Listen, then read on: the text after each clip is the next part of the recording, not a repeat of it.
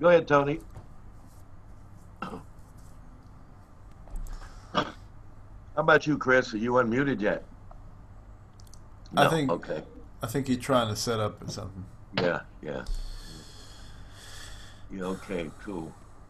So what, what, what part of Brooklyn are you from, Prince? I'm in Bed-Stuy. Oh, I, Oh, I was born in Red Hook. I Oh, was born you? in Red Oh, Hook. Yeah, Yeah. okay. All right, now you're in Bed-Stuy. All Yeah. right. Do as they say, do or die, Bed-Stuy.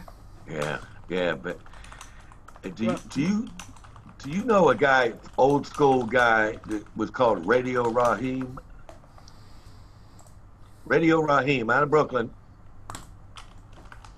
You know, the only radio Raheem I know, or that I, I did know, was from um from from the movie Do the Right Thing. Okay, Yeah, that's yeah, Radio was thinking- Raheem, man. Right, right, Lee right, joint. Raheem, I thought we've known each other for a long time, right? Because I'm old for old school. Okay, now Hmm. um, he's been posting every day with a mask, you know, walking through Brooklyn, informing people like what's going on. You know, the social distancing, Right, right, how right, right, neighbors right, are right, reaching out to one another, Right, right. uh, checking in on the elderly, things like that. That's that's that's wonderful, man. So he's That's still cool. do, doing the right thing. So he's he, so that's his he actually that's actually he actually uses that name Radio Raheem. Yeah, well, he announces him now as uh, Cosmic Joy. Oh, okay. And Okay. he, he, he, each um, send that he puts out, he goes, "Hi everybody, it's me, Radio, you know, Radio Raheem, now Cosmic Joy, you know, checking in from Brooklyn, USA, you know, like Right. that." And he does like he walks through. He was walking through Bed Stuy, and and, right, uh, and like I say, doing some real nice neighborly things and letting, you know, like I said, checking in on the elderly and and just giving us a look at what the neighborhood looks like under quarantine Okay. and giving good advice. You know, not alarmist advice, just good Right, right, right, safety advice and care for your neighbors. Right. True. Look like you got out of here just in time, brother. All right. Now, You had a good time when you was here who me? when you came down. Yeah. Oh yeah, yeah. I always have a good time. See, because I can have a good time in New York because I live in Paris. Right. You know what I mean? Like I, I, Exactly. I bring my new work over in poetry or jazz poetry. I do Mhm. my thing, and then um, I come back to Paris. So I don't get caught up in the the expenses of the city. exactly. Or you know how it is in New York. Somebody say, "Hey, man, what have you been doing lately?" And I'll say, "Oh, I just did a new piece last Wednesday." And they say, "No, I ask you what you're doing lately." So I get out of that that that, that New York, you know, madhouse. You know how it can be. So um, Right. you ain't Right. producing enough unless you just laid the golden egg that very moment. Right. Right. And so I, love New York, but but, but uh, you know, so I, I manage New York better by living in Paris. Right. Right. Well, You know, I, I, I, I, I was hoping to get to get there this this sometime this year. You Mhm. know, depending on this damn virus thing, whatever. You Mhm. know. But um. Right. Now, one thing's for sure, the airlines are begging for passengers. So once we decide it is safe to fly, actually safe, uh, let's hope that them flight, those airline prices are as cheap as they are now. Wow. 'Cause somebody told me they flew like, they got an offer Chicago to Paris, two hundred dollars, two hundred fifteen dollars. Jesus. What? Nah. I'll put on. I'll put on like. I'll put on three masks or four masks, whatever. Man in the bubble, get me some Saran wrap, baby. you know. You know. I, shit. I'll make believe my own makeshift hazmat, man. You, Yeah. you can you can fly from Chicago to Las Vegas for like 18 dollars right now. Wow. Nah. you in Chicago, brother? I'm near Christopher? Chicago, near there. We got Bill Strangmeyer joining us soon. Uh, So, Mr. you know, McNally, you from uh, New York City, bro? Yes, sir. Brooklyn, New York.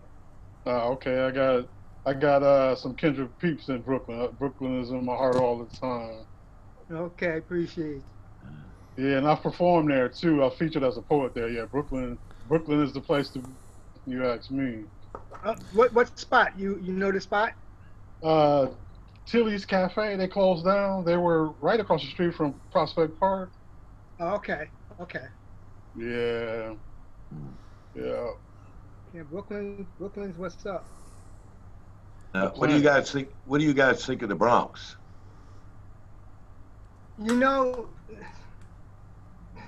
I can count on on on this one finger how many times I've been to the Bronx, man. Wow. You know what? It's like a it, that's like a foreign country. So damn, it's so far. It's so far, man. I mean, Yeah. usually people like my peeps from the Bronx, they come down. We meet in Manhattan. We meet in the Midway. Right, right, right, right. That, Yeah. yeah. I can understand that. Yeah. Yeah. No, You know, reason I why- used to, I used, I used to date a girl up in the Bronx, but I mean, you know, I was driving at that point. But now Yeah. I'm like, eh, I ain't trying to get up in the Bronx, man. that's a long distance relationship. Exactly. You know what I find interesting about the Bronx? It, it when I went there for the first time, and I've been in New York several times. It, it surprised me that it was very, well the, the, the area that I went to was very neighborhoody. It reminded me of some spots here in the Midwest where I was born and raised at, the Bronx. Mhm, Yeah. Uh, Well, people have a people have a um have a misconception about the. Bronx. I mean, you know, they're thinking when they say that when they when you hear Bronx, a lot of people thinking South Bronx or you know like back in the '80s or something like that. You know. Um, I mean, there's some Westchester. There's some really nice, you know, areas in the Bronx, man. Really, What- really beautiful. The reason why I'm asking is I was always down in Manhattan, you know, the West Village, East Village, Right, right. Me Brooklyn. too. And then a couple of years ago, I started getting gigs in the Bronx and, Wow. and knew some jazz people, some jazz cats from in the Bronx. Um, uh, and they had more living space living up in the Bronx, right? You know, Right. they were at. And so that's why I was asking because uh, I find myself happily doing gigs in the Bronx, which is, uh, I like the people. And then below me is the Dominican neighborhood where the food is, you know, like this place jumps around the clock. The food is good. People are nice. And so I'm going, hey, the Bronx is all right with me. That part of the Bronx, right? Because it's a Right, big right, right. borough. You that's why I was asking. And what about Nina here? We got Nina online, We got Um, Bill as well. and we got Bill. Uh, let me just give a shout out to Nina. I hope you can hear us, Nina. Uh oh. Can you hear us? I think I think she's still uh, setting up her audio. Yeah. Maybe she. Nina, if you uh, if you want to speak, you have to click join audio. Or, yeah. So how you doing, Bill?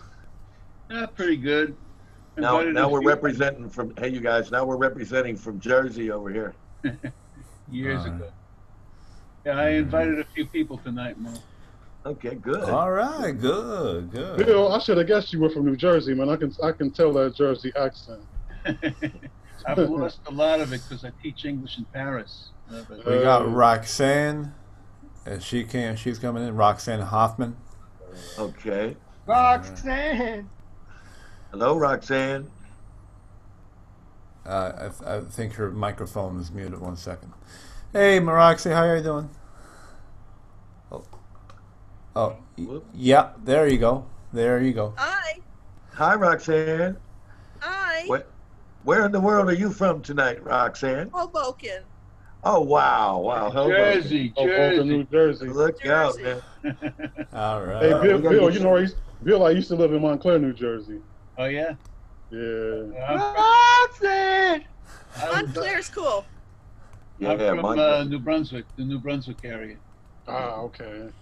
You better put on your red dress. Hey, Christopher. uh, Uh-huh. uh, you you've been um, uh, you, you've been tour, touring as a spoken word poet in the states, right? I have a lot. Yeah. Uh, you, have you have you crossed paths with a southern uh, spoken word artist? His name is um, G. Yamazawa. I I've heard the name, but I haven't met him. Gee, uh, you should look him up, brother. The guy, the guy, the guy has. Uh, he's from the south, but he has the most Brooklyn accent uh, ever, and his and uh, the guy is amazing. He's basically Jap. Uh, he's half Japanese. Uh, oh no, no, he's he's Japanese. His his entire family is Japanese, but he has a Brooklyn accent, and uh, and he's from um, the south. uh, and he's from the south. He actually uh, uh, he actually has a poem uh, called uh, "How Does It Feel to Be an Asian from the South." Oh, so you know, he's amazing. He's really amazing. I looked that up. Yeah, man. Uh, so, uh, man, the uh, the he, he's uh, uh, uh, he's definitely into rap as well. Like he his introduction for into spoken word started in a writing class where the teacher was trying to teach him how to write poetry, and so he decided to. Uh, because he was lazy, he decided to cheat uh, so Tupac and uh, Biggie Small lyrics and just try to fit them together. And he's like, and the teacher was impressed. And he's like, "Wow, so this is poetry? Huh? Okay, maybe I can get into this." And now he's uh, he's a. Uh, I, I think I think he he he won. Uh, uh, he has. I, I, I don't know what the term is for, for a global slam champion award, but he he ha, he has some kind of title of that particular nature. So Well, I wonder if we know him in Paris then, because uh, the international slam finals are held in Paris, even though they were started by that guy, uh, last name Smith, out of Chicago. So every year um, in the late spring, there is the grand finale of International Slam Contest uh, staged in Paris. Hmm. So maybe we'll have to look. You know, somebody helped me with Nina here. Nina said she just messaged. She said she can hear us, but she has not activated her audio. And I asked her if there's a sign below, like activate audio, no? On the bottom of her screen. Yeah, uh, uh, at the bottom left. Uh, it, it would help to, to know if she was using a, a, a laptop or a, or a phone. Maybe that would help. Okay, here we go. Uh, let's see.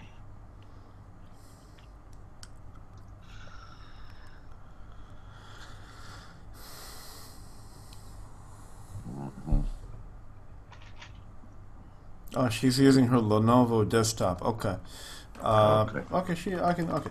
See, she's in the chat. Um, She's on the Hey, chat Prince, board. uh, do you have?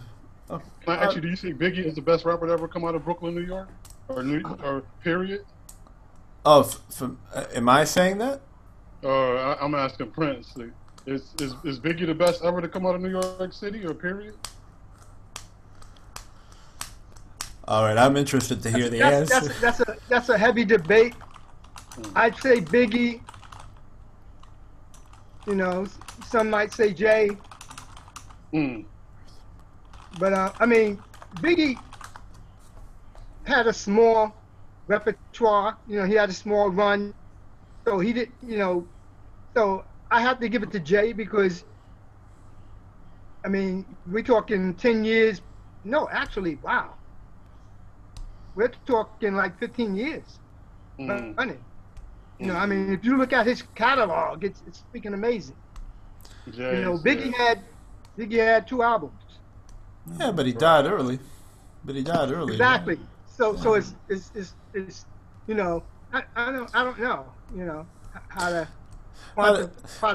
What I what I will say is that Biggie is probably the only the, the only rapper who ha, who has given the record label that worked with him. What, what was it called again? I forgot. Um, uh, what was it called? The record label that worked with with Biggie or that sponsored Biggie's album. Bad boy.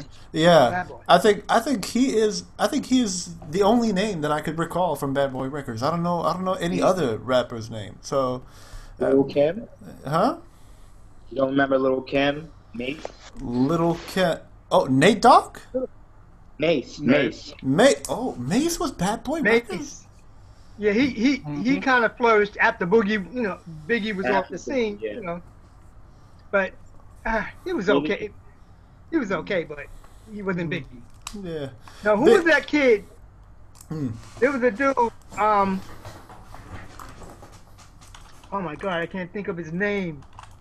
Light skinned brother. Um, From Brooklyn. I don't know if he was from Brook- Brooklyn. Um. And what was his name?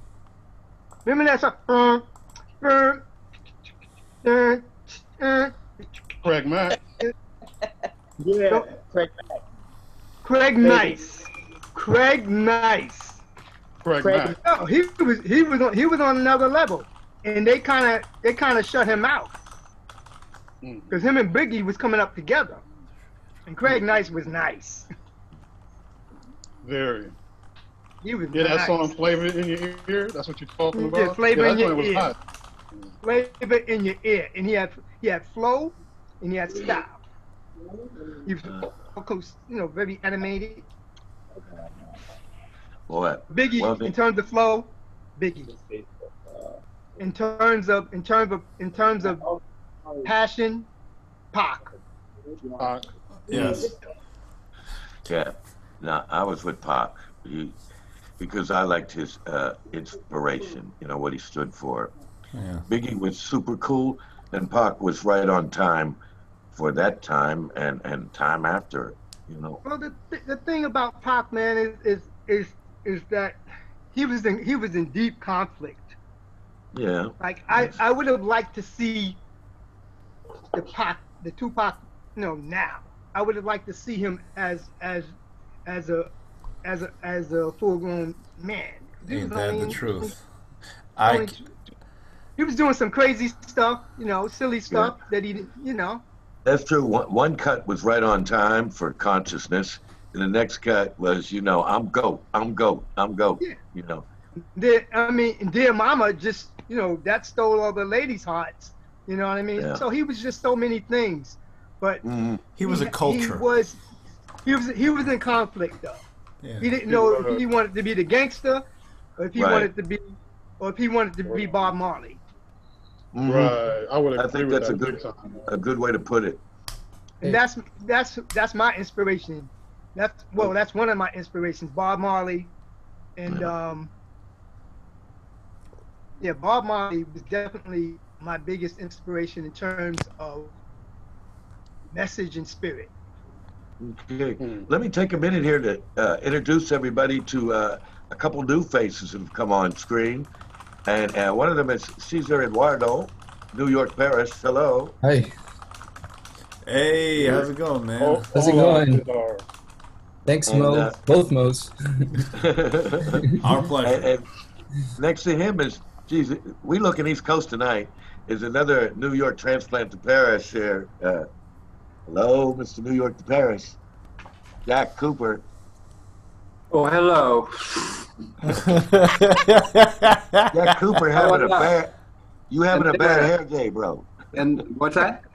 You're having a bad hair day. Oh, no, this is a good hair day. I'm just happy I have hair. Here, here, here. Let's, Yeah, what, when you Uh, get the shit more can you say started right that? away. Yeah. No, I, I decided not to uh, bathe this week. Oh, okay. okay. well, All right. uh, Good. Thank Good God thing for we're social doing- distancing. It saves on. There you It go. saves on. There Saves on soap. I need to wash my hands. You're gonna do a piece called uh, "Stronger Than Dirt," Yeah. followed by "Toe Jam Man." Yeah. To quote. Uh, I'm a Toe Jam Man. yeah. To quote Gertrude Stein, uh, dirt is clean when it uh, when it's a volume or it comes in volume or something like that. Oh, okay, all right, good. Now, uh, and, and Tony wants to, we have we have a friend on board here, participant Tony McNally, who wishes to remain faceless. So just know Okay. he's with us. And, and and look who's here now. we have Candace McNally. We have three. Hello, Mc, we have three. That's Uh, sh- sh- uh, uh, she's connecting. We have three McNallys in the show in the in, in the Zoom chat. Uh oh, uh, look out. Mc- McNally's are representing. yes. Yeah, you- Brooklyn's repping. Okay. Brooklyn's representing. Yeah, I like that. Yeah. Yes, sir. Yeah, that's good. That's good. All right. And uh, for those of you who just came on, uh, two of you know very well Nina Zavencevic. Uh, And- she and she she left and then she gonna try to come back and see if that works. Yeah, she she got on today. I worked with her earlier in the afternoon. Um, um, I worked with her earlier in the afternoon. She had a little confusion about a ho- how to hook up with us, and she was on for a while, but she could not get her own audio going. so she could hear us but not speak. So we're hoping Uh, you, she'll return. Yo, uh, Birds To- have To- been Tony, we're getting out- feedback from your end, my brother. Oh, because we're sitting next to each other. Hold on. Sure. So Mo, have you already introduced Roxanne? Uh, where is Roxanne? Over here. Right Hello, there. Roxanne. Yes, Yeah. we talked to Roxanne. Okay. While you were doing your hair, we were doing Yeah, Roxanne. Yeah, Well, you were doing that gel, that magic Yeah, I was, gel. I was, I was rolling on the floor. Well, hello, Roxanne. So you are the Roxanne, right? Yes, Right, the Roxanne. You know, I, I didn't know. It was a Uh, the Roxanne. right. Well, you my- know, I know Jack enough to know your key role with Prada. Yeah, she's my better half of uh, Poets Wear Prada. Okay. Good, good. Uh, and now, Candice, can you hear us? Yes, I can. hear you. Oh, we And now we can hear you. We hear echoes. yeah, we we got feedback. Uh, Hold on. Talk to us, Candice. uh, she, wait, I think she, I think she's uh, I think Yeah. she's fixing up something. Okay. All right. All right, Candice, can you talk to us a minute? We want to check your audio. Hello, Little, little stronger, please, so we can hear you. Candace McNally. Okay. And when you present, when you present, give us a little more volume because we want to hear them words. You have a More soft voice. Um, I'm new to Zoom, so I'm still trying to. Okay, that's cool. Do I turn this up? Let me see. I'm not sure how to do it. Hold on. Sure, take a minute. That's all right. Take your time. Take your time. Hello, can you hear me better now? Oh, real well. Oh, That's yeah. Oh, okay. I It's guess good. it was too, too No. far. Hi, Roxanne. Hi, How are you? I'm doing good. How are you? Good. Mm-hmm. Now, it's, at one point we had three McNallys on the screen. Are you all related? Yeah, that's my Tony's my my son. Candace is my daughter. Oh, Hi, nice. All right. Oh, that's great. That's a, ideal. family, a family affair. Hi, I'm McNally's. Hi. Okay, good. Everybody say hi. okay. Hey. So, okay. So, um, all right. Now, i- is this Tony sitting on your left or on my screen? Is that you, Tony? Yeah. Okay, so we got you here, and now we see you. Okay, all right. Okay, cool. Real good. Well, all right then. Well, welcome aboard, everybody. And uh, for those of you who are new, uh, one thing about the Angora Poets World Cafe is uh, we call ourselves a World Cafe because from the beginning, when when I and others started this, we very much wanted to encourage people from all different points on the planet and, and and we wanted also to encourage people from different language backgrounds and, and, and different poetry expressions. And so it's quite common for us when we meet in Paris, uh, where we will read in English, in French, in Spanish, in Russian. Uh, we've read in Greek, in Serbian. And somebody just simply gives a brief explanation about what they're about to read and then they launch into it, and we encourage them to launch into it. It's say, you know, it's a language I don't understand. So please launch into it with some passion and conviction, and we get to appreciate it that way. And we find with open ears, you know, an open mind and open ears, we're gaining something by listening to people speaking a different language than our own.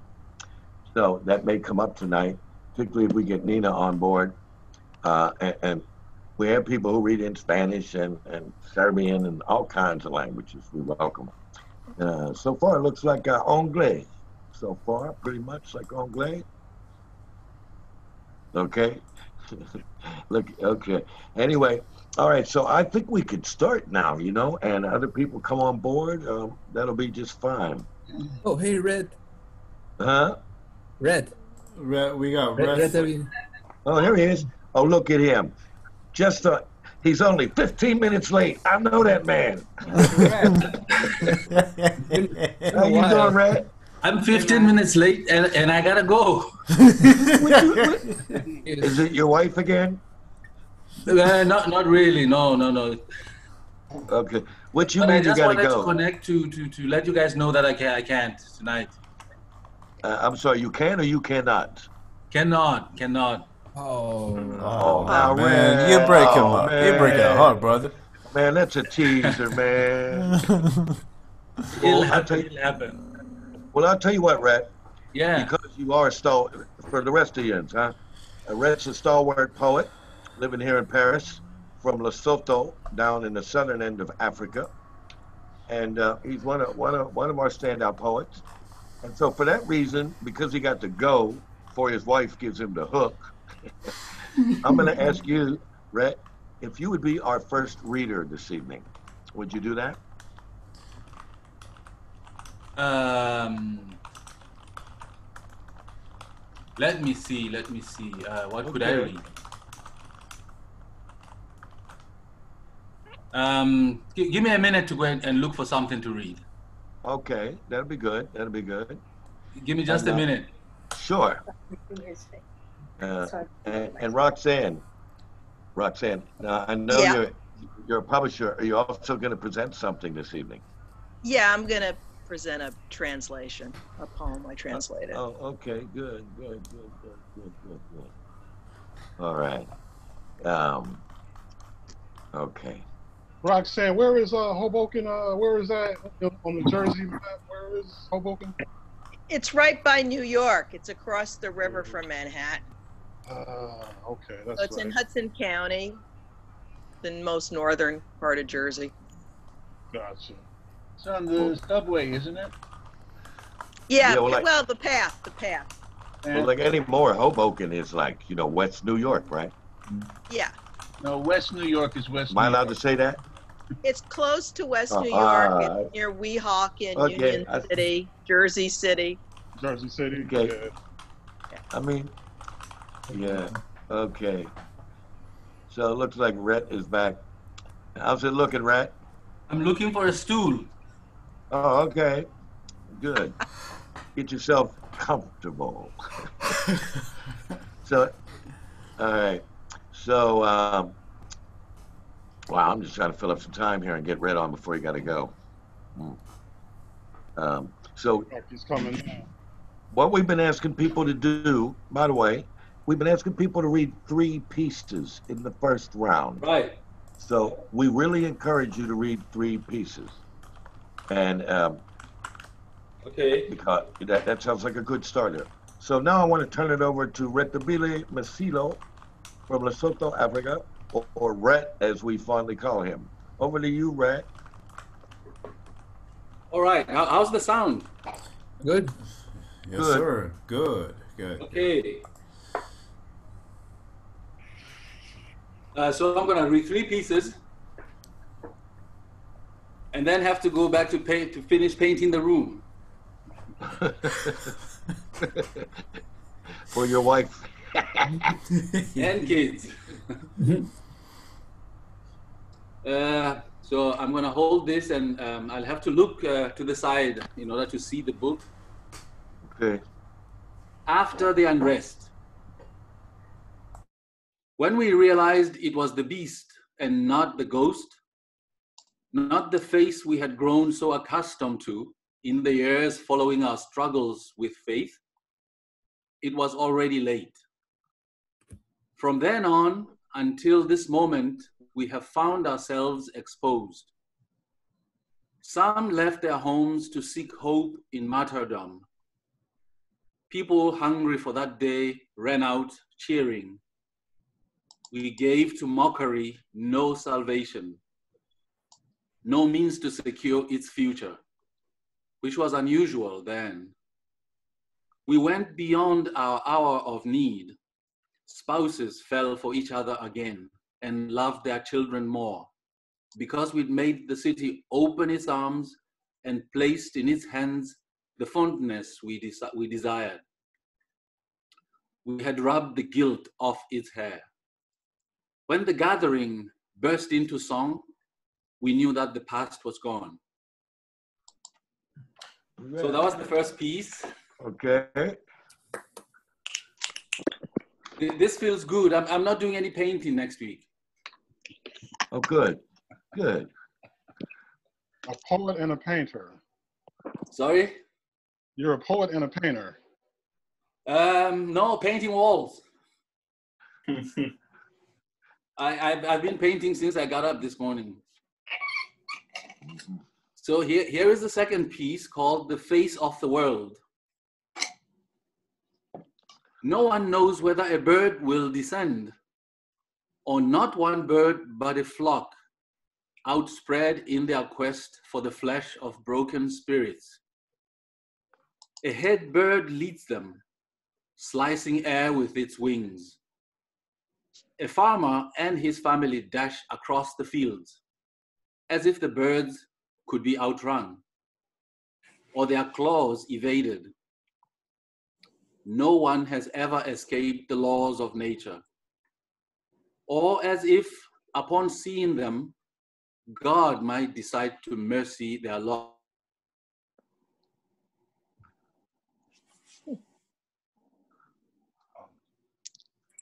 False. Come back.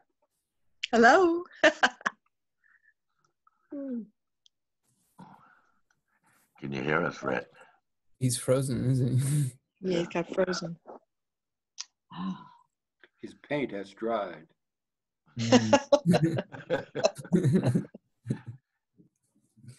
Maybe he logged off, right? Or Probably, but my guess is he bumped, he hit a button, Mhm. you know, handling the book and the microphone together or something. Oh. Hmm. Well, that, that's it. Well, I'll tell you what. Let's go on with the next poet. And, and, and when we hear Rhett, we'll, we'll be kind enough to let him back in. Is that okay with everybody? Yeah. Mm-hmm. Okay. So, um, I would like at this point to, to call on, uh, somebody doing some prose, who's been doing a lot of prose to a lot of acknowledgement. And that would be Cesar Eduardo. oh, thanks. Okay, I'm gonna read uh, the the journal entry that I wrote today. Uh, probably like three minutes or so. Okay. Okay. We'll just jazz here, from here on out. Philosolallia for a new historic comprehension. Stop getting caught up in the hedonic treadmill and plunge into Hegelian dynamics to clear up my awareness to its essential power of the quantum dip. Rhetoric of connection to reiterate premonitory creations. Results of this contention aren't fenced by deadlines. I'm sure you tasted my breath in circle as I scribbled down the precepts for acceptance to the trapezoid. For now, we're indoors, typing, painting, mastering a plethora of inner shapes. I bet Drattel, ancient teacher, is ample in approval. Cymatics of a mirror surface when on substances. You give me a riff, and I'll develop a convention on the sky to account for lost space. I'm fed up with the goodbyes over an earth that is about to drop out of the big imprint. And this all feels like an analysis of influences that have led us be- beseech the neural framework at large to reach critical mass. Upcycle those perspectives to write down the waveform with sincerity and to arrive at the hyperreal rearrangement of our consciousness.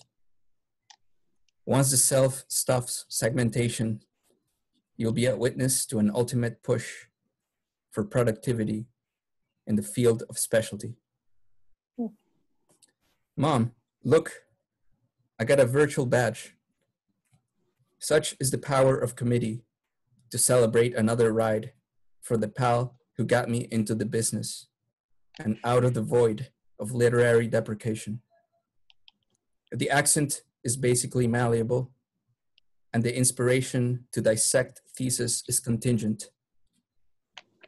This is a wheel that performs direct turns inside applications to get organized. Oh, kaleidoscope at Rue des Cascades. How restraining for the stalwart on the Zoom salon. A lady has made her appearance, and the poet got up to paint walls since awakening to the natural brushstrokes.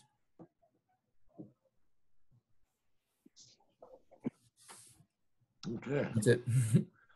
Yep. You have another one for us? Oh, oh wait, I was I, I've been doing an experiment kind of uh it's going to be fun. Um so I'm going to do I'm going to read like a quick poem in three languages.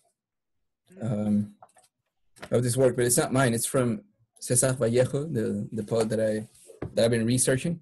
Uh What's his native land? He's from my home state in Peru, northern Peru. Um, it's Santiago de Chuco. So first, I'll read it in French. And, it, and just briefly, what is the theme of his poem? Oh, uh, it's him sitting at a cafe in Paris, um, Nice. and and exploring like what, like he felt as a solitary exile Hmm. in Paris. It's called Chapeau, Manteau, Gants. En face de la comédie française se trouve le café de la Régence. Il y a là une salle cachée avec un fauteuil et une table. Lorsque j'entre, la poussière immobile est déjà debout. Entre mes lèvres faites liège, les bouts d'une cigarette fument.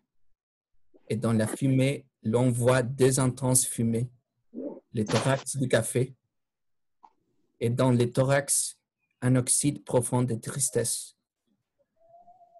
Il importe que l'automne se greffe sur les automnes. Il importe que l'automne s'intègre dans les bourgeons, les nuages dans les semestres, dans les pommettes, la ride. Il importe de passer pour fou en postulant que chaude est la neige, fugace la tortue, simple les comment camps fulminants. So that, that's in French. Merci. And uh, well, um, let me try to find it uh, in. Um, hold on. Languidamente. Uh, oh, there it is. I'll do in Spanish. Sombrero, abrigo, guantes. Enfrente a la comedia francesa está el café de la regencia. En él hay una pieza recóndita, con una butaca y una mesa. Cuando entro, el polvo inmóvil se ha puesto ya de pie. Entre mis labios hechos de jeve, la pavesa de un cigarrillo humea.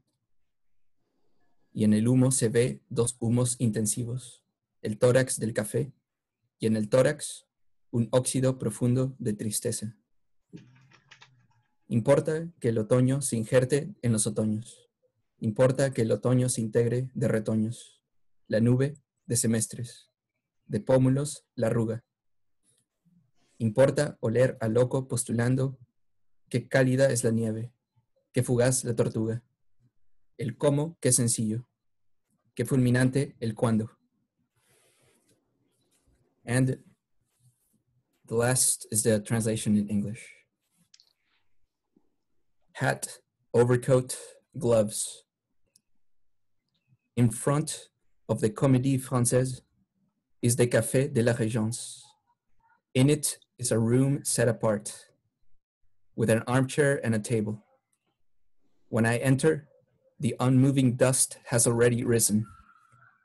Between my lips, made of rubber, the ember of a cigarette smokes, and in the smoke can be seen two intense fumes the thorax of the cafe, and in the thorax, a profound oxide of sadness. It is important that autumn graft itself to autumns. Important that autumn integrate itself with sprouts. In the cloud, with semesters, with cheekbones the wrinkle. It is important to smell like mat, like a madman postulating how warm the snow is, how fleeting the turtle, how simple the how, how fulminating the when. Uh, thank you. Thank you. All Yeah. right. All right. Okay. Now, I, I, I'd like to call on somebody who was on screen early tonight, and, and let's hear from him coming all the way from Bed-Stuy, Mr. Prince McNally. Can we hear a word from Bed-Stuy, Brooklyn, please? Wow. Let's start. Brooklyn Since we were talking about, Holy we were shit. talking about um, Brooklyn, well, MCs. This piece is a hybrid. It's a, it's a, it's, it's a, it's a rap that sort of flows into a poem. I wrote it a few years ago, and it's full of metaphors. So the title is called Metaformations. Hmm. as I rip this clip of metaformations from my thought patterns. Brain cells are ringing all around Saturn while back in the hood, Ruff Ryders are barking like rock rocks. Prolific rhymers are catching Alzheimer's in my peeps are mad illin from this unrehearsed verse that I be spilling with the greatest of ease like killer bees be slinging honey. Do you feel me, money? So microphone check me and please don't test me cause my thoughts are deep throating like Monica Lewinsky. I'm not Bill Clinton, so don't go acting fruity trying to impeach me over this silly chit chatter cause it really doesn't matter, you see. Misogyny I'm not with, it's merely a waste of my gift, so I aim my pen towards the positive tip of the iceberg named Slim. Shady though be the hood, but it's all good, for I am the phoenix rising, uplifting the downtrodden like the homeless, begging for social change. A computer whiz hacking into brains. I am a political prostitute giving the government head trips to the outer limits of my subconscious so they can truly see from thine own eyes what it feels like to be demoralized, to socialize, utterly despised. See how ghetto babies never cry wolf, or they merely cry when they are hungry and when hmm. shit needs to be changed. Okay. Can you follow that up?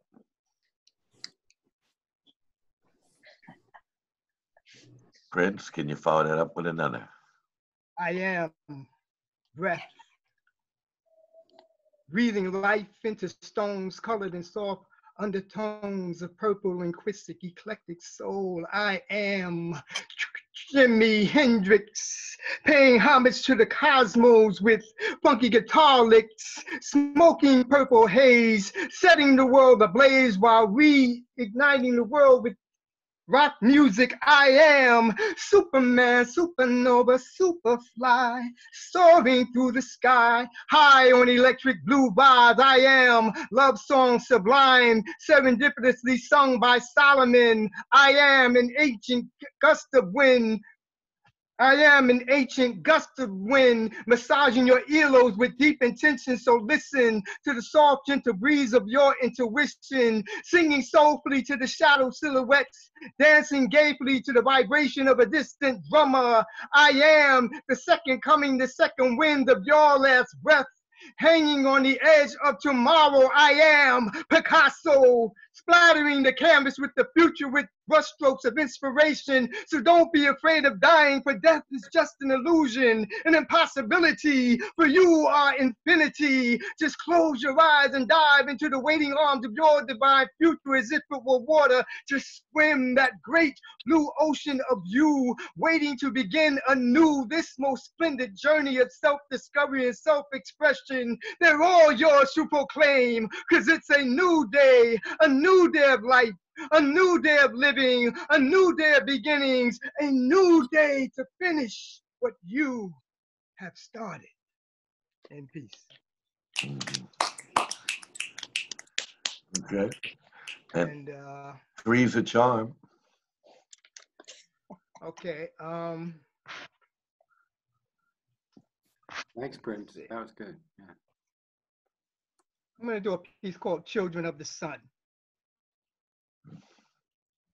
We are the children of the sun. We are the children of the sun. We are the children of the sun. We are the children of the sun. We are the children of the sun. We are the beautifully melanated, melanin skinned children of the sun, God's chosen ones. We are the meek and the weary, stepping ever, ever slowly from the shadows of our plight. And we be getting high as a kite, soaring to cloud nine in search of the divine as a means of, to escape this stinging grip of master's whip. I remember when Harriet promised to save us from our woes, to free our souls, and so we took a stroll to the underground railroad, where hip hop tracks were banging like Swahili drum beats. So dope, the rich decided to profit off the blues of the impoverished, and thus we were the impetus to your music business. Hmm. Though many of us may have sold our souls by sampling the woes of the hungry and the homeless, through poetry, I wish to atone for this by honoring the spirit of the ancestors, honoring our culture and our history by sharing our story. So, with anxious lips, I spit these clips of hollow tip bullets because I'm so tired of watching my people dying in these streets. Their lifelines replaced by chalk lines, so sobering remnants of police drive-bys, blue on black crime, you psyched our minds time after time, our culture forgotten after filling our heads with your holy doctrine, a brand new testament to your new world order, forced us to drink your holy water filled with lead, and so we bled the blood of your indifference, of your entitlement. Oh, how we sing the blues of your ignorance, of your fear and your hatred. And all we could do is just take it, shaking our heads in torrid disgust, wondering why so many of us, Black and Latino men, women, and children, are still dying on the crossroads of your inner cities, of your inner demons. For unlike the body of Christ, our dead shall not be rising. In peace. Bravo. Thank you. Thank you very much. Thank you very much. Wow. All right. We are we're off to a good start. And I would like to welcome a new face. Mo? Yeah, Yes. the people I invited are trying to get in and they, they're being asked for a code or a meeting ID. They can't get in. Oh, uh, there. Oh crap! I thought I already replied to you. I, I replied to Mo instead. I'm sorry. Um, I, uh, the link that you clicked on. Did you try to share that with them? Yeah, uh, for the link from Facebook. Yeah, that link.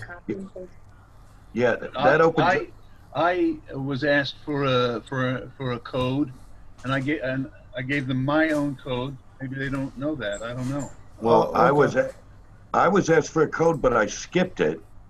Hmm. I, I skipped that that that request and just went to click here. Uh, it says bottom line, and it opened up, and it took an extra click rather than entering a code. Okay. I've just code in the chat. It's the last, not it's the numbers at the end of the link to the meeting. So the That's eight what six six Yeah. seven. Yeah. Some folks don't know that. But that, yeah, that's a good move posting. Okay, say that again, please. The numbers, because I didn't need to use them. Please again, Laura. Lauren. Um, if you press the chat button on the bottom panel, it, it should come up on the side. It's a message to everyone. It's the number that begins eight one six six seven. It's like at the end of your link, you have a number, and that's also the meeting ID. Okay. Yeah. Well, okay. Let's hope. Um, we want to welcome more people on board. So um, let, let's let's keep let's try to bring them on. Very very good. Very good. Uh, and you know, I was gonna. Are are you conversing now, Bill, with the people? Uh, by, yeah, I'm messaging. Okay. Then in that case, uh, let, let me hear from someone else we have not heard from over in uh, Hoboken, USA. And She's Roxanne Hoffman with Poets Wear Prada. And uh, let- would you please present for us, Roxanne? Okay, thanks. Um, I'm going to read an old poem to start um, called Even the Smallest Child. Even the smallest child knows, without our saying, that uncut the green grass grows without our saying. The warm, bright summer sun glows without our saying. The red rooster wakes and crows without our saying. The old river ebbs and flows without our saying. The bee buzzes by the rose without our saying. Its leaves crunch beneath our oh sorry. Fall arrives the tree sap slows without our saying. Its leaves crunch beneath our toes without our saying. Its acorns the gray squirrel slows without our saying. When the cold northern wind blows without our saying in their caves the black bears doze without our saying the bleak gray winter sky snows without our saying Last winter, the boat pond froze without our saying. Spring arrives. The hard ground thaws without our saying. Shoots sprout, trees bud, their sap flows without our saying. Mother Nature's green thumb shows without our saying. Each new season comes and goes without our saying. But love, never ever grows without our saying, I love you.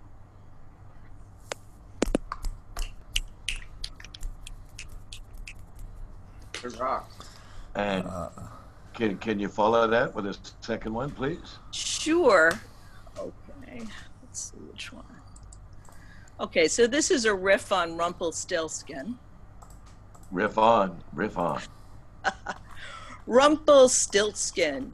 Dear sir, before a slip I might call you father, or be the son you never had, junior to your senior, Rumpelstiltskin and son, magicians and matchmakers will transmute 21 and 5 3 on tippy toes. I have your beady eyes, wink, wink. Mother sends her regards. Smiles beguile happiness, and fictions live daily, often come true. Oh. You see, she too has charms, taming despot to princely, even cast her spell on you. Babe in the woods, victim of father's pride. With all your tricks, you never stood a chance. Lemons, sunshine, silver haloed, she'll own, daily applied, spun her wheat locks to gold. Not quite magic, but that's love with every twist of her locket still upon your neck. She knows you wear. Her ring on your pinky, twinkling in the sunlight, unlocks rainbows. Yeah. All right.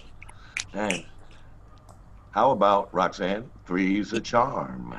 okay. The last one is uh, called Chrysalysis. It's in a translation of a poem by Jose Asunción Silva. And the original poem was called uh, Crisálidas.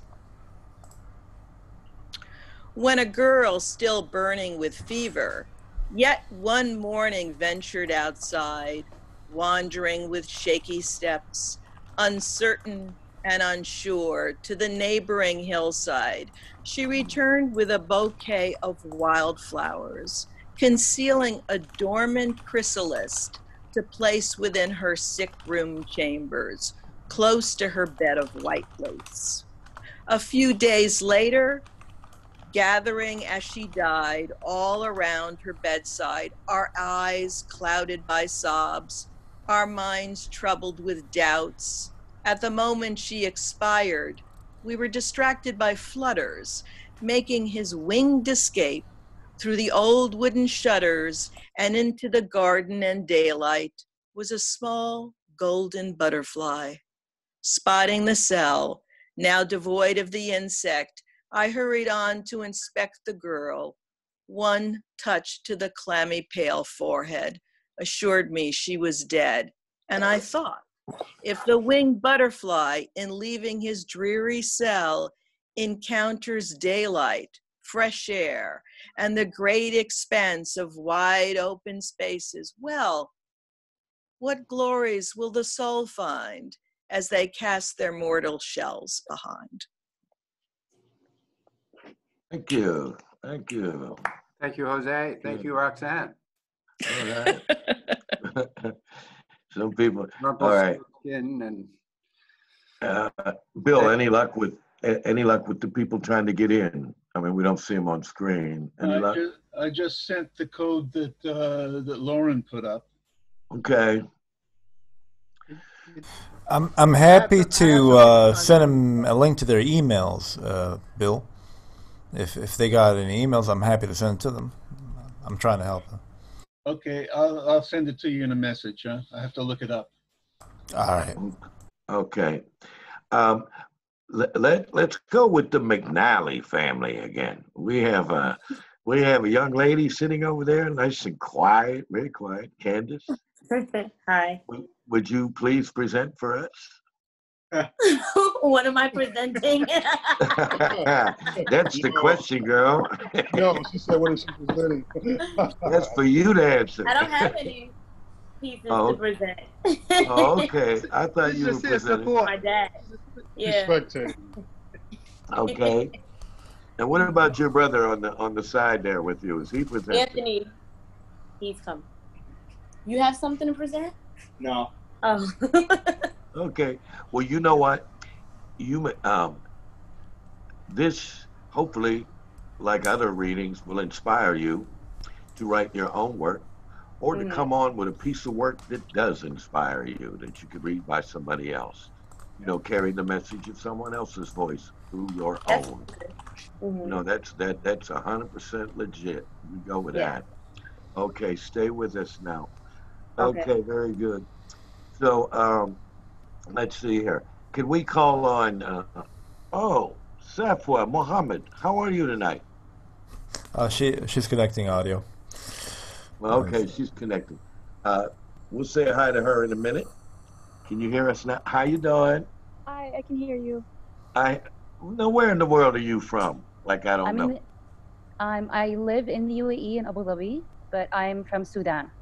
Okay, all right, good to hear. Lo- Laura is also a part of. Uh, Lauren is also a part of the Abu Dhabi uh, poetry uh, uh, family as well. Abu Dhabi's hot. we had we had one of your fellow poets on here a couple of weeks ago from Darfur, who uh, Oh, from Darfur, who who moved to Abu Dhabi. Well, yeah. Yeah. Okay, that's good. We are the World Cafe. Welcome. So now I would like to take this world over to to a guy who's living in Paris, and his name is Jack Cooper. Jack. Oh, okay. Well, I have something called In Hoboken. I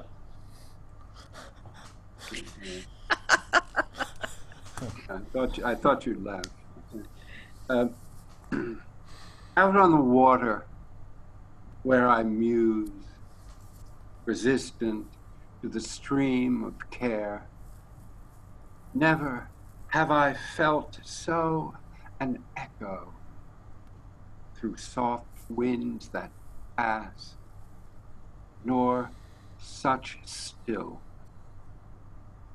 unmoved, magnificent emotion.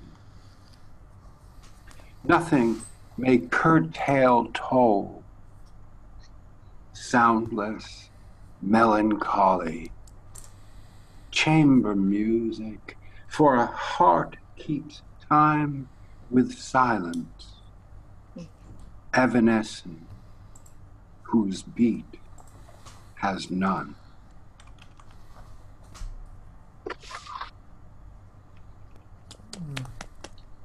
Uh, and so, Is that a mic drop? oh, look out. Tulips. All right. Showing off his greenery in his apartment. Yeah. Uh, the next poem is called Tulip. Okay. Okay, all right, that makes sense. Just, uh, That was his way of demonstrating his part next piece. exactly. Hmm. That's the uh, the ding and sick. I see. Tulip. The soft air is nigh. It suspends me. It could float me thither, not to return. But I must sleep. Tulip is the spring, perfectly expressed. Its color glows with the same wet brilliance that is fecundity returning, filling the air with weightless, dark suggestion. Spring is the pupil of the eye, open in the dark, expanding, filling, following what it still cannot visualize. Precisely. The dream with the rapid eye open, hoping.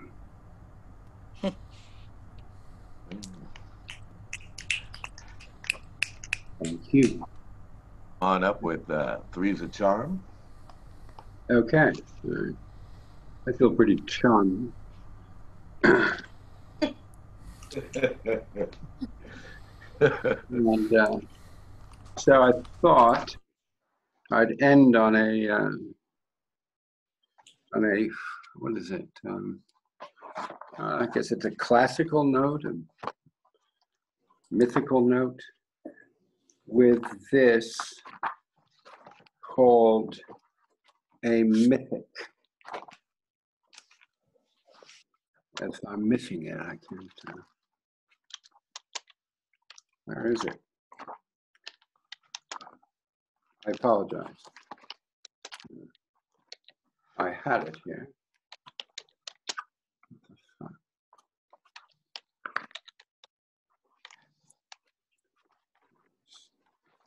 Here. Oh, okay. Um, technical difficulty. Take your time, good sir. Thank you. I need it. Ah, here it is. Okay. A mythic. Sometimes there can be no Agamemnon, nor Clytemnestra. Things must remain as they are. The tiny, troubled souls, unknown to any but themselves. There, beneath the moment abridged, the interval that lingers like breath, we take what solace avails disappointment, errors leading to mistake, suddenly realized, if uncomprehended. Give us this day wholly to make amends for all had not been anticipated.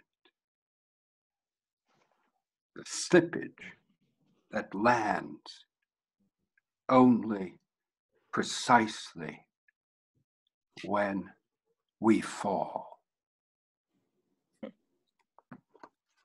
Okay. Okay.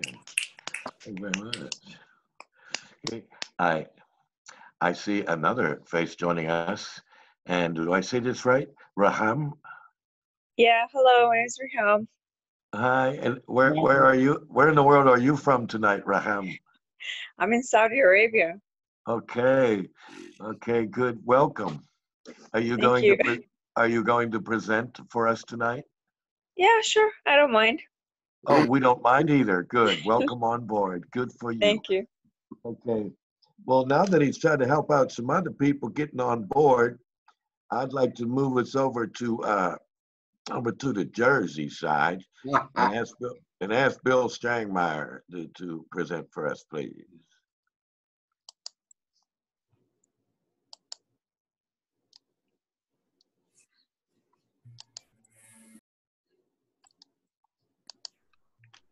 Uh, Bill, I believe uh, your audio is off. Uh, we can't hear you, and I'm trying to unmute you, but it ain't working. There you go. All right. Sent uh, those emails, by the way. Oh, good. Thanks. Thanks, Mo. See, Mo and Mo are trying to keep this thing on screen tonight. The Momos. Okay, so I don't know if you all know Rodney Crowell. I know love is all I need, and that's all I know. It's called homemade and sweet smelling, not not still not a sale. From time to time, it comes to lift me, comes to coddle, proof of God. And when I feel the pastel meaning, the little night-gowned angels flying past, I know that there is room to spare within the lines that keep me warm and odd. The pastel longing for the great beyond is what I hate, is what the enemy instills in every thought of goodness, each desire bearing light or else enlightening cast. And yet sometimes it comes to lift me, comes to coddle me, as if a proof of God. Without desire, what is love and love without desire? One burns, what's absent chills. And longing for completeness is the compensation for the rancor that will last and that will fill the room that's left within the lines that keep me warm and odd. The good and evil left hand path and all as one are still no answer for our ills. For life and disappointment, joy and crime, and fear and hate and love are treacherous and vast. And at each time, some welcome small resistance comes to lift me, corny and carnal, proof of God. And this is how I've kept apart, have kept the hard edge, kept the sentimental frills that led me straight into the store of questions and of weaknesses that I've amassed, all knowing that the room to spare within those lines has kept me warm and odd. We never know what random thoughts or turns of thought might serve to turn our wills to reverence or odd resistance to the call that comes, perhaps to live one's faith as if a fast. Yet time to time it comes to lift me still, comes in to coddle, proof, you'd say, of God. But well, I know there's room to spare within the lines that keep me warm and odd.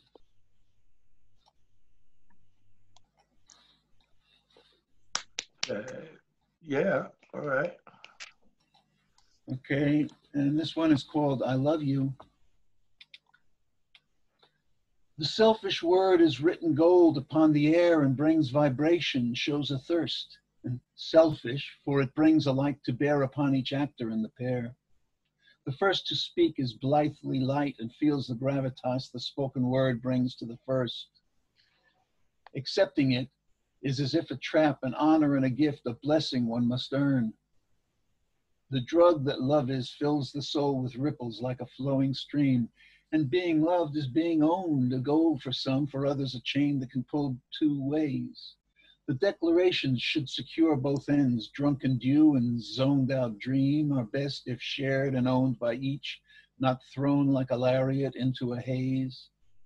The tragedy of love is that it can be real, as real as you and me, if we indeed are real each seeing clear the other, reading the person whole and true and adding nothing else. Or it can be a deal, defiance, a gesture, joke, illusion, game, an escape, or even for some a meal, for vampires live in your spirit's world, and two fortunes bound are truly well. Choose wisely, fools that we are. Don't pan for gold and find but pyrite rust. You can die while dreaming or living in heaven, or end your stay here as dust.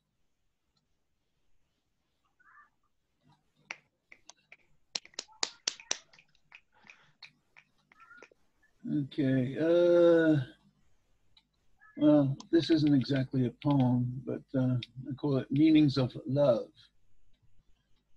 Five feet of heaven in a ponytail, it sways with a wiggle, with a wiggle when she walks, wanting to be the other person, an enacted emotion. Agape philia storge eros. Tenderness like before in your fingertips somebody to dance with, to know, know, know him. How deep. She looks wonderful tonight, stick like glue. Pushing a boy out a window off a tower, one side of a thin line. The most spectacular, indescribable, deep, euphoric, feeling for someone. But we're all drama queens. Nature's way of tricking people into reproducing. Just a four letter word, it is a river that drowns the tender need. It is a razor that leaves your soul to bleed. It is a hunger, an endless aching need. It is a flower, and you, its only seed, only for the lucky and the strong. A rose, a desire for the soul, great chemistry, either a horrible disease or a blessing. All you care about, the reason people kill themselves. Blind. Thank you.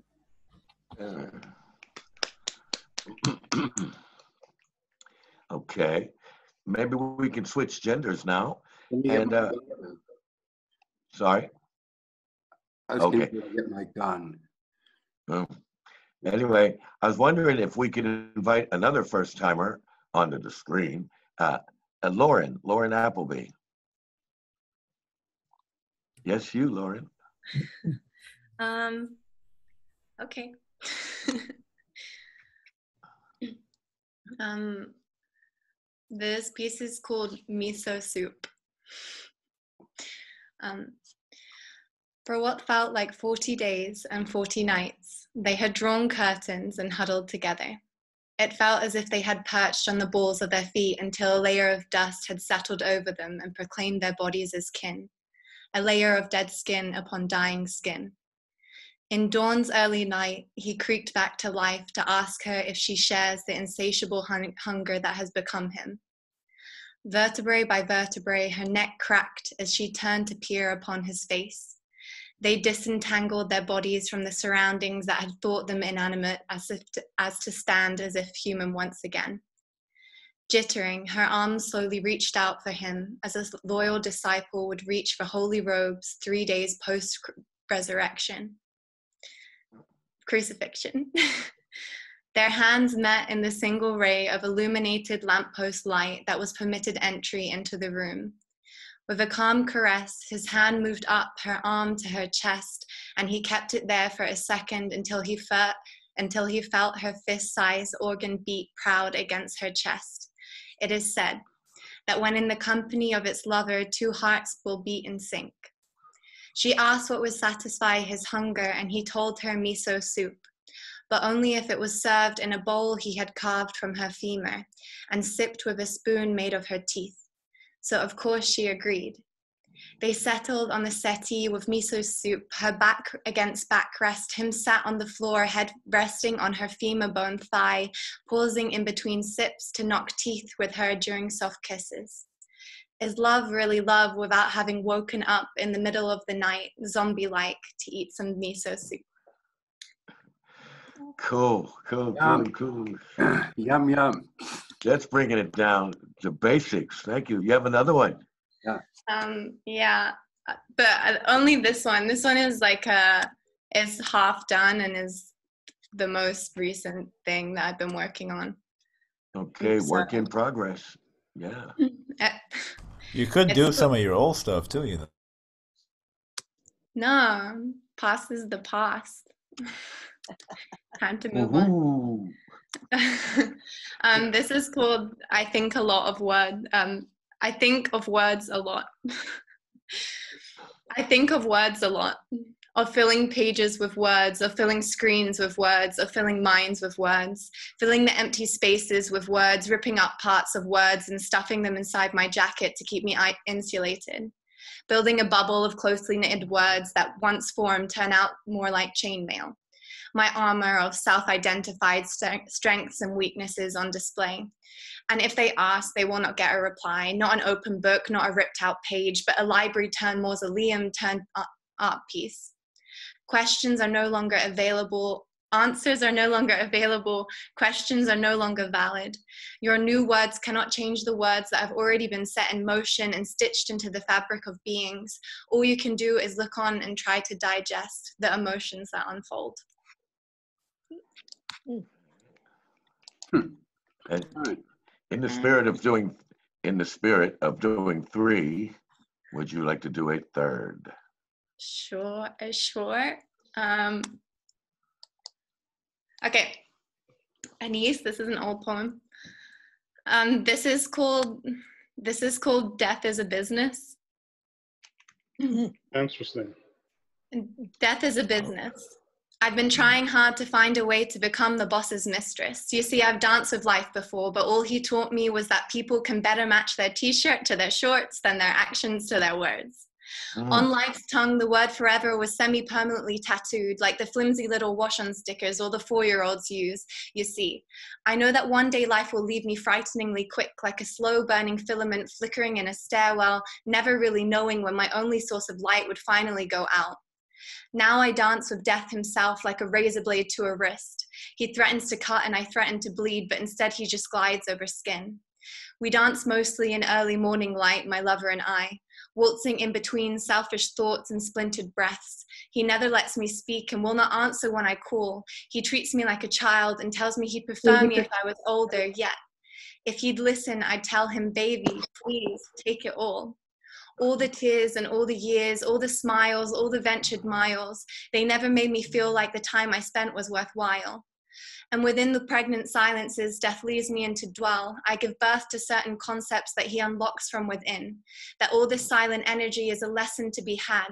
I like to, try, I like to think he is trying to teach the beauty of patience or the art of seduction. Perhaps the notion that the tender promise of a kiss on wanting lips will always be more beautiful than the actual kiss. Sometimes when I cry, I ask him to punish me knowing full well that he only rewards pain to those whose time has come, and so far it seems like my days without death are not done. One day he will be the one to call with forever permanently tattooed on his tongue. My mortal bones still have ties I have yet to sever, so instead we dance. We dance and we dance and we dance. I am a puppet still bound to strings. He is the puppet master. All control lies with him. And in my dances with death, he likes to whisper in my ear, What would you give to taste me? Tell me, Hayati, but do not beg, for your knees are too scarred to feel the weight of your words. He never stays long enough to hear my reply, but how I ache in my bones to say, It does not matter what I want, lover. I'll do as you please.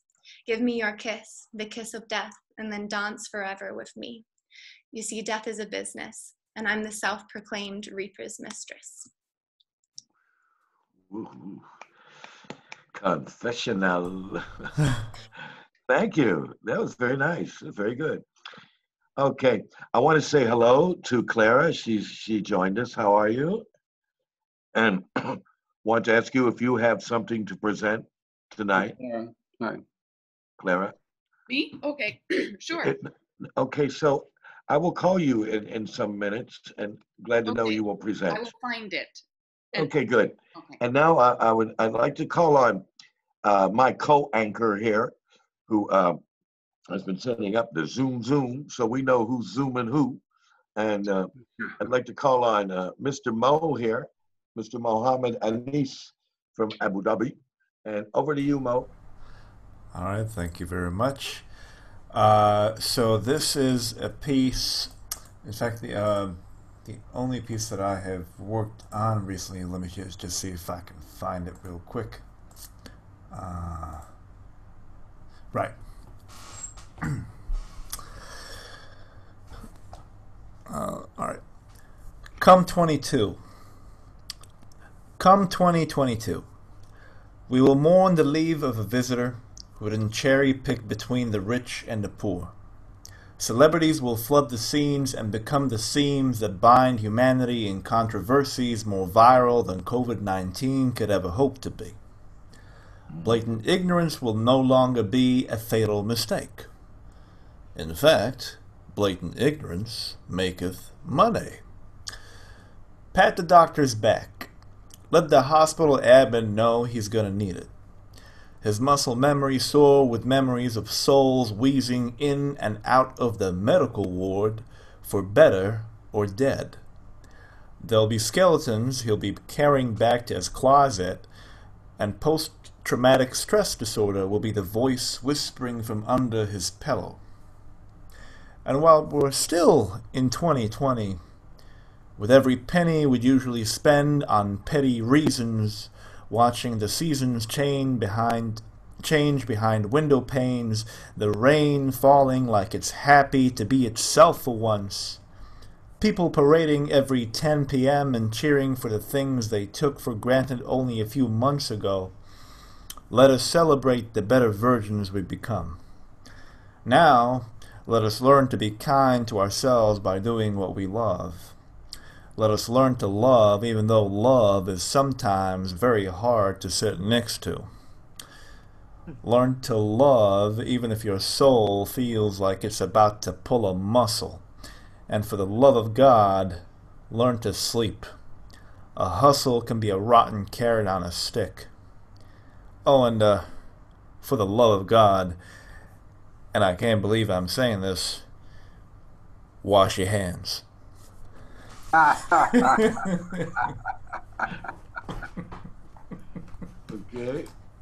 and you're going to follow that, Mo. Uh, all right. Uh, give me one moment, just real quick. Wow, what am I gonna follow that with? Um, could I could I pass the mic to someone else and, and then follow that, but like come back later to get that piece? Which- Yeah, we can do that. We're All not right. casting.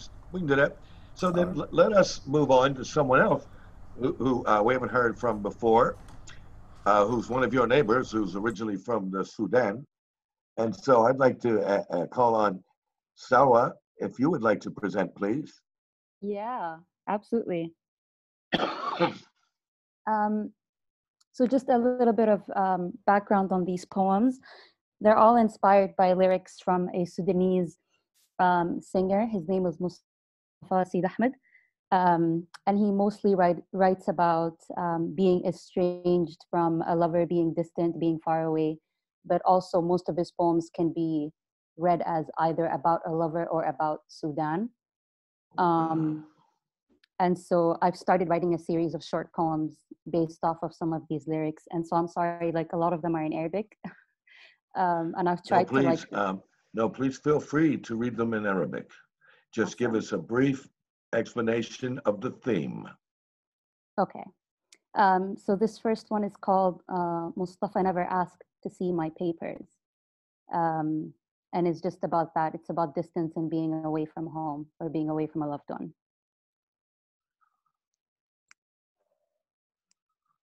You sing للمسافة وللخيال يشغلني منك and I wonder what is the furthest distance you have been from a lover? Do you know the anger of a black hole ocean that swallows hope whole and spits it out as bitterness? You sing أصلي لما ندور أجيك بجيك لا بتعجزني المسافة ولا بكيف بيناتنا عارض ولا الظروف تمسك في إيدي ولا من الأيام مخافة You sing how circumstance will not shackle your hands and how you do not fear our long days apart and distance is cement blocks heavy on my chest and yearning has not yet made a stranger of this skin and love is yet to leave our tongues behind and fear lover fear is reserved for days like this when every promise of dissolving distance crumbles beneath your breath سائلين عنك يومات رحيل they asked about you on the day you left لمواني المدن النفطية to the ports of oil cities شقاش ما تقبل يا أبو الحيل في قلوبنا مواجعك متكية and leaving is another rusty farewell and river is another metaphor for always moving And just when the last cloud empties its sorrow on your cheekbones, just when memory finally burns your palms to ash, you sing, كيف حالي يا أبوي? And I know the winds have tried to make amnesia of my name. كيف حالي يا خال? I know, I know my shipwrecked bones will find their way home someday. But are we not born for a suitcase life? Are we not made to always leave? You sing, أنجبتني مريم الأخرى قطارا وحقيبة أرضعتني مريم الأخرى قوافي ثم أهدتني المنافي Lover, find me always on a platform, always across a city line, always one step out of reach, but find me always, always in the music. Yes. and uh, a, a second one? Um, uh, I'll do another uh, Mustafa one and then I'll change uh, change it up a bit. Um, this one is titled Mustafa questions his choice of songs. Um, the theme of this one is just questioning like the the intention behind singing these, some of these songs. Um, you sing لو مدارات نجمي ضلت وسكة السفر استحالت كوني في دربي الحقيقة الديمة ليها مشاعري مالت My love, I pack all our memories neatly into a suitcase I have fashioned from the pieces of you that remain in my backyard. I say onwards and upwards, but really I mean inwards with no direction.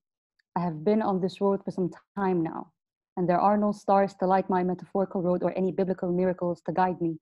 Just a suitcase full of memories I have no use for, and a stomach with a single butterfly gasping for air.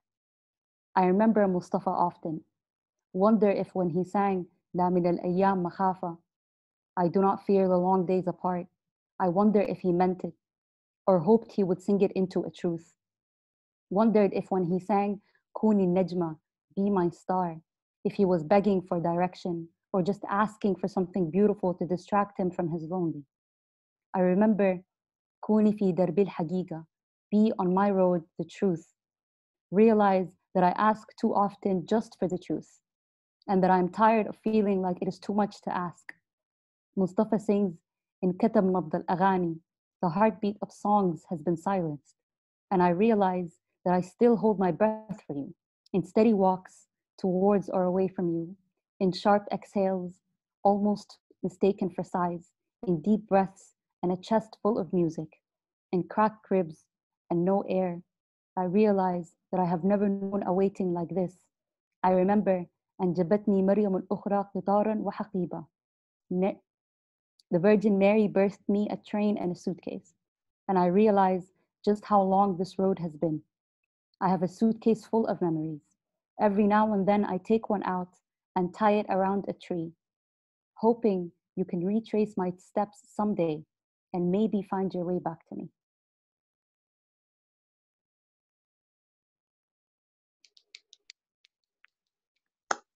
Thank you. Wow. Hmm. Mm, So, uh, Number three is a charm. um, oh shit, my thing turned off. Sorry, one second. Technical difficulties. Hmm. Um, okay, this one is called um, Secret Garden, September 10th. In every honeycombed memory I hold of my friends, laughter announces its presence. One night, in my favorite secret garden in Khartoum, my best friend and the man I may be starting to love sit in front of me, taking apart their armor in song, a lip sync. And every time a line reminded them of me, they would slap my knee or tap my shoulder, and I would laugh, not self conscious about my crooked teeth, and they would sing, not self conscious about their terrible voices. And my God, you should have seen how easily open air consumed our joy, how the tree branches stretched and reached for a taste, how the river is still rippling from the echo of your laughter, how your laughter still ricochets off the walls of my memory and baby, my ears, my ears, my ears are still ringing. Thank Oh, thank you. Okay, thank you, Sarah. It's good to, s- boy, if this is what you are our third poet from the, the Sudan, and uh, I am very very glad to begin to hear some of the rich poetry from your country. That's Welcome to the Thank you. World Cafe. Welcome to the World Cafe, sister. Thank you. It's an honor. You're welcome. And, and we, we've got a couple new faces up tonight. We've got a face that some of us known for a long time. Uh, he's over stateside now. Let's everyone say hi to David Leo Siwa. Hello, David. Yo, David. David. Wow. Thank you, guys. Oh, Right there. Okay. Can we get Da- David? Oh, Okay, well, Yes, hi. are Good you to on see now, all you Dave? guys. Yeah, I'm on. Okay, good. Good. Welcome on board, David. Good to see you after a while, huh? Good to see you Yes, very you much. too. Thank you. Okay, David will be up later. And n- now I'd like to move on and ask Mo, are you ready for your second now, Mohammed? Sure. Uh, uh, this one is an old piece like that I've never finished, but here goes nothing. Cool. I need a dollar, dollar, dollar, all I need. Hey, hey, I need a dollar, dollar, dollar's all I need. I remember the first day of my job, the initiating ritual, two steps and a handshake with a smile that is mutual until I took a look at that measurements of my cubicle, the ins and out of it, two steps and a handshake, that's how big it was. My legs were entrusted to take me somewhere beyond setting on the saddle of nowhere, not this chair that has outlasted its comfort it was meant for. I was not meant for a mentor to convince me to stay for hours on end, to overstay for a stale pay grade, to prove that I am somehow worth the boss's spare change. I was anointed to preach life, not whether uh, not wither as I, as I stand hostage to the knife point of, a, of an economy that wanted me dead, or at least terminally alive enough for obedience, for an unquenchable thirst for dollars as if they were the measuring standards of integrity, the measuring standards of everything. I was appointed to preach life, not look into my wife's eyes and complain about its stagnancy. I was not meant to spend a quarter of a century in a corner of a world so colorful, so beautiful. And I hear this constant phrase about God being everywhere, so why is his disciple still stuck, crunched here, away from his wonders? I mean, these hands, they weren't meant for mountains, these eyes for horizons, this heart for awe, for love, and this mouth for speeches, not telephone calls or pagers. Life did not hone my senses to grow dull into the limbo of a cubicle. God's everywhere, and I got places to be. Nice. Yeah. Really nice. You got one? Allow Uh, you have one to back that up? Uh, well, uh, with your permission, folks, I'll, I'll finish with a, with a poem that y'all heard a couple of times before. So, Well, Uh, a good poem like a good song is what I'm doing again. Refresh our memory. okay.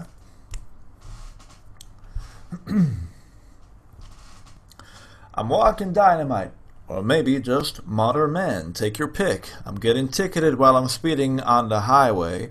Pedal to the metal like I'm organic. Roadkill like an expiration date on speed dial. I'm playing chicken with the speed limit and the radar's about to flash me. Maybe tomorrow it'll even Facebook tag me.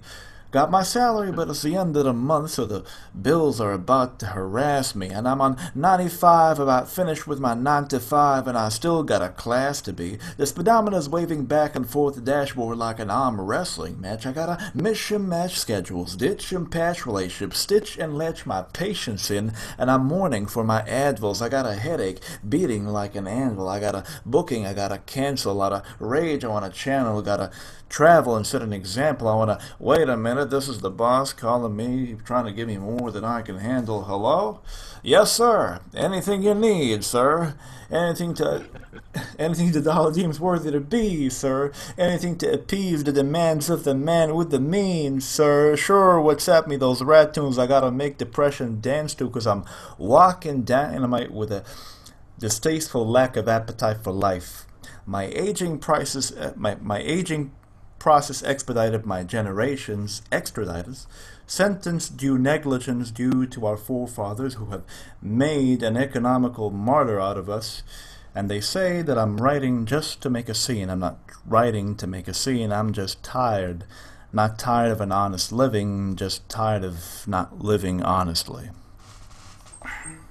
Yeah. Hmm. All right, thank you. And now I'd like to call up uh, someone um, that I haven't heard from before, and that would be Raham. Would you like to present now, Raham? Yeah, sure. I don't mind. Please, but come on. uh, how how many poems?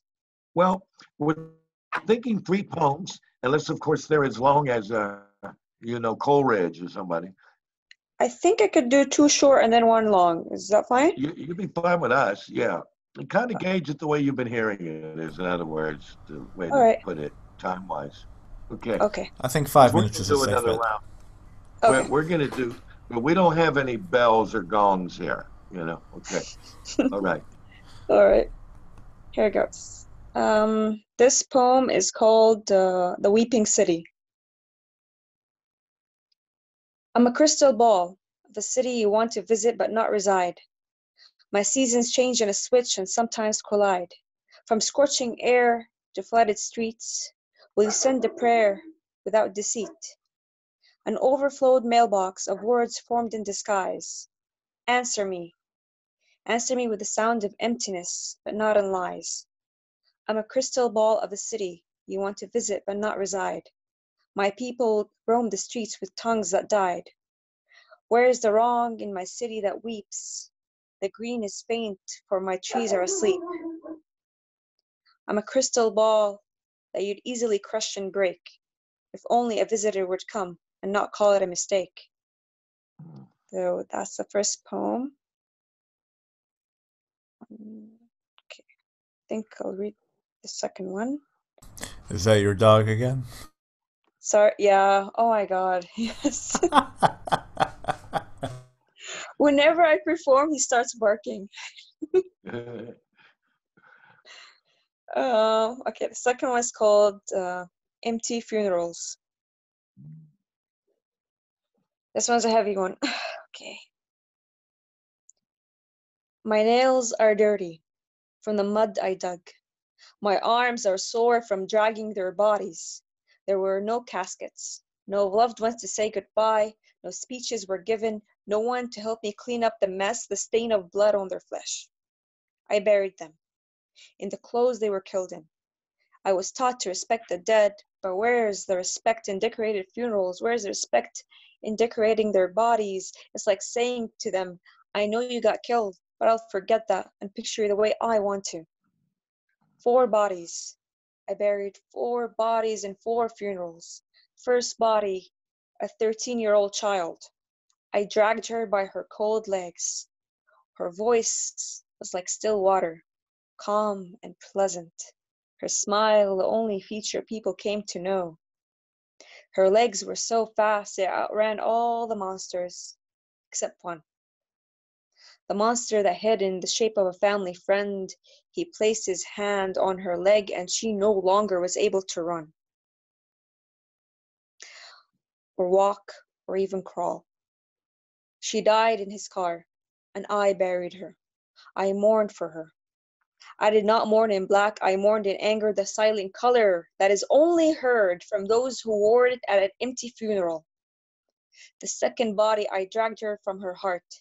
She had only one artery still left attached to her, dragging, still left attached to her, while I dragged her entire body along. She was 17. Her love was generous, yet foolish. Some gave out presents, some let in monsters. People can become monsters. They want what they don't have, and this murderer took the thing they lacked her heart, tore it out over and over until she chose emptiness over pain. She died in her bed. I buried her that night. Didn't even give her body time to freeze, it was still warm. I did not mourn her in black, I mourned her in denial, the forgotten color that is only felt from those who wore it and, it, and did not take it off, even after the funeral. Third body, a 20 year old. I dragged her from her tongue. She didn't just speak of lies, she wrapped her body around it. I'm fine, she'd say. I don't need anyone. She was an addict, addicted to pain. And I, I killed her before she killed herself. I did not mourn her in black. I mourned her in change, the cleansing color that murderers wear in funerals. Fourth body was a 25 year old woman. I didn't drag her. She walked to her coffin and laid down as I filled her uh, filled her lungs with sand. I didn't kill her, but I didn't stop her. She snapped, the kind of snap that brought down the mansion in her mind that she had built for years. She roamed around aimlessly until she found herself buried six feet down, and she allowed it. I didn't mourn her in black. I mourned her in searching, the color that we often forget exists in funerals. I buried four bodies. I buried myself four times. I had four funerals. I grieved in anger for the child that couldn't run. I grieved in denial for the teenager that died in disbelief. And I grieved in change for the victim I killed in order to live. And I grieved in search for the woman that forgot who she was. I visit their stones in passing seasons to remind myself that in order to survive tragedies, we need to mourn the victims we buried. For each time I dragged and buried myself, my tired arms grew stronger. My heart that bared bruises got tougher. We die, we mourn, we rise, and we survive. So that's the long one. May I ask again, where, where, where are you Sorry? from? I'm Saudi. Sorry. Oh, you're Saudi Arabia. Okay, thank you. Yeah. And for the third one, it's a charm. Ah, hmm. Okay, this one is me being angry at the world, basically, at the how the structure is like. So it's called corrected structure. Okay. Uh, let's go. We live in a failed structure that's eaten by rust. Ignorance, a game, to gain our trust. We were forced in its to fit it in its colors of copper and brown, even if we were pure as white or gold as a crown. We were born to move freely, but metals were placed. A creation of disciplined robots we embraced. There is a heart that beats among a collection of stones. To be, they told us, to be different is a crime. We all must be clones. So repeat the words they stitch on your tongue. If you use your own, they'll stuff it in your lung. Cough and cough, claim you have a cold. Release the dusty lines that were untold. Our flesh and skin are laid on their table, pulling until stretch marks are our label. We are insane if we don't submit to their rules, but why should we wear a mask and play the fool? Traditions, tribes, society, and people, why does my no make me so evil? We have a heart, a mind, and a voice of our own, a freedom to choose, for only my name will be on the tombstone. We need to vaccinate our home before their infection reaches our spine. They'll rearrange our genes to their design. Branded by DNA, sneeze, and to them you will be a mutation. Who are we? Who are we if we use their voice and set fire to our imagination? Thank you. Thank you. Okay, thank, wow, thank you. Woo. And so now I'd like to uh, cross the ocean over uh, to the state of Illinois and call on uh, Christopher to present for us, please.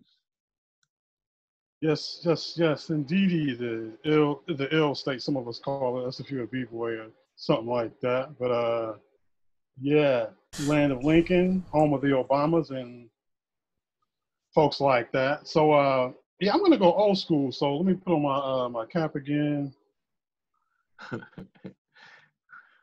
And it, this is a shout out to the East Coast, but especially New Jersey. I'm gonna go put on my old school fat gold chain. yeah, so see Muhammad like, yeah, he he know, he know what's up. So um, I would I would be Glam, bogus. baby, glam. Yeah, you know, old school man. You know, so you know the world's a stage. You know, so I would be remiss if I didn't say that this particular poem uh, was inspired by the, the late great, probably my, my favorite spoken word artist of, of all time. Period is Amiri Baraka, born and raised in New Jersey. Um, I've been listening to him on on um, streaming music as of late, and, and I was also listening to a class he was teaching somewhere on the East Coast, I believe, maybe on the West Coast, and it's just phenomenal how how great of a, a poet that he he was, and even still is, in, in, you know, in spirit. So whenever I think about myself as a performance artist, I think about Amiri Baraka, or I should. So, and maybe I shared this poem here before, maybe not. We need powerful, empowering poetry, poetry that promotes positivity, poetry that encourages people to progress, poetry that gives birth to revolution. We need poetry that puts on black berets, black pants, and black boots. Poetry that rises and run, raises its fist to run after the oppressor to oppose its rendering racism, sexism, racism, sexism. Poetry that challenges the boys in blue. Poetry that kicks butt. We sit back and say, hey, hey, get them, poetry. Poetry that gives birth to revolution. Black folk need poetry that gangsters the grime in the ghetto. Poetry that cha- poetry that saves graceless women, gutless men, and guiltless children and guides them back to greatness. Poetry that disintegrates crack and evaporates alcohol so we don't continue to fall into destruction. Poetry that gives birth to revolution. This world need, this world needs poetry that puts an end to poverty, to starvation, to homelessness, to AIDS, to cancer, to dehumanization, to mass incarceration, to prison privatization, to policing children in our systems of education, to unjust detention, to criminalization of seeking of those seeking immigration, to death during migration, to the horrible border situation. Poetry that gives birth to revolution. That's that poem. Thank you. Thank you. In the spirit of my main man, Amiri Baraka, rest in peace, rest in peace. And if you're not hip to his poetry, Google him. That's all you got to do. And Amiri Baraka's just flame. And I mean, yeah, oftentimes I, I can't think of a better spoken word poet, let, let alone somebody who wrote plays, somebody who performed with jazz musicians. Yeah, Amiri Baraka is the truth for sure. Uh, what can I follow that up with? Uh, you know what? I'll, I'll share a piece that I have. I know I haven't shared. Yeah, on you know what? You know what I think you should do though? Take off your chain, man, because it's disrupting your vocal clarity. It's giving uh, feedback. Oh, word? Okay, let me take off my fat gold chain. Yeah, there you go. But it was dope while it lasted. Appreciate that, man. yeah, that was a shout out to the East Coast for sure. It's a place where I've, I've spent uh, a lot of time being here in the States. Let's see. Um, oh, here it is. This is How Can We Make Peace Sexy? How can we make peace as sexy as Denzel Washington brandishing a gun or a bomb? How can we make peace as sexy as Tom Cruise, Will Smith, Gwyneth Paltrow, or Angelina Jolie? How can we make peace sexy so that to it the masses pay attention? So that to a leader who speaks about peace, our children and our youth listen, listen, listen. I find it uncomfortably necessary to make peace as sexy as Halle Berry. How can we make peace sexy enough to make gun, lo- gun lovers salivate over it? Enough to support an effective, active Department of Peace, a Department of Peace, peace. How can we make peace sexy like half-dressed car models, expensive cognac or sleek beer bottles, the new and vogue teenage band, a well-known soap opera star, so that, that about peace we want to understand? How can we make peace something that's constantly in demand? How can we make peace sexy, sultry, hot, steamy, dreamy to die for, to make people come back for more? Make it so sexy that no one will ever remember or think about war. How can we make peace sexier than a fast red car so that it is not considered strange or bizarre? I take a deep breath, then slowly release, wondering how do we create a sexy peace? Our schools, our streets, our neighborhoods, our communities, our cities, our world needs peace. Shalom, peace, peace, shalom, peace. And that's that poem. Thank y'all. And it.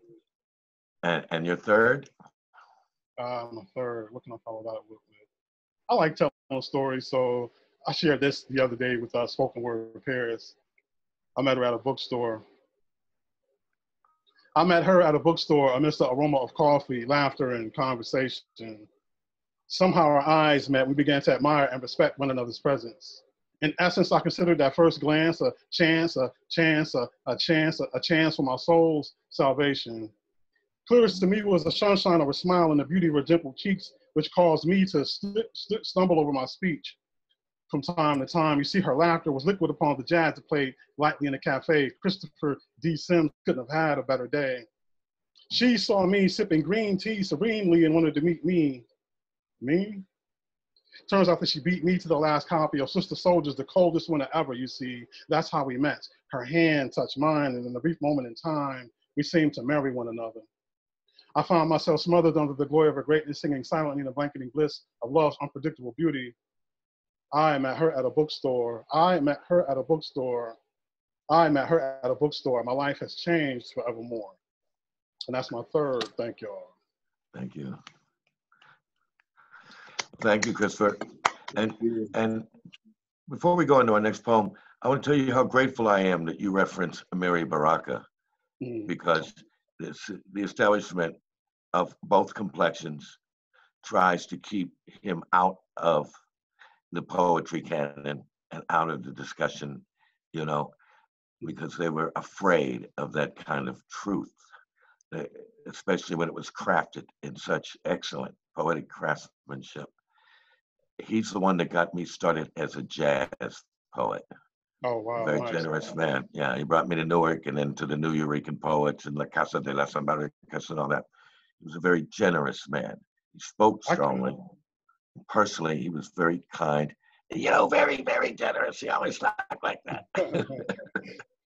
Yeah, man. uh, but for him to have, for New Jersey to take the, the yeah, the for them to have taken the New Jersey Court laureateship away from him, yeah, they were scared. Yeah. Yeah, that that's what happens. Yeah, you know, it- you know, it happens in Latin America often, and it happened in in Nigeria with Ke- Ken Saro-Wiwa. You know, and it occasionally happens in the United States. Although in the states, as Bob Dylan said, uh, it rather than shoot you, they would rather silence you. And it goes on today, believe me. Okay, especially in this era of uh, overcorrection censorship. Okay, so we have a, another member on uh, on board here, and I hope he can hear me. His name is Mohammed T A H. Are you with us, Mohammed? Hello, unmute. Hello, Hi yes. there. Okay, where in the world are you from tonight? Uh, first of all, I want to say hello for everyone and thanks for Okay. uh, sharing your poems. That it's uh, very touching. I like it. Uh, I am from Afghanistan. Okay. Yeah. Would you like to present something this evening? Uh, yes, I I want to share uh, two poem. One is Please do. sorry. Yes, please. Yeah. One is uh, just explaining my life, and one is uh, just uh, for just a feeling, you know. It's uh, so I am going to sing that one first.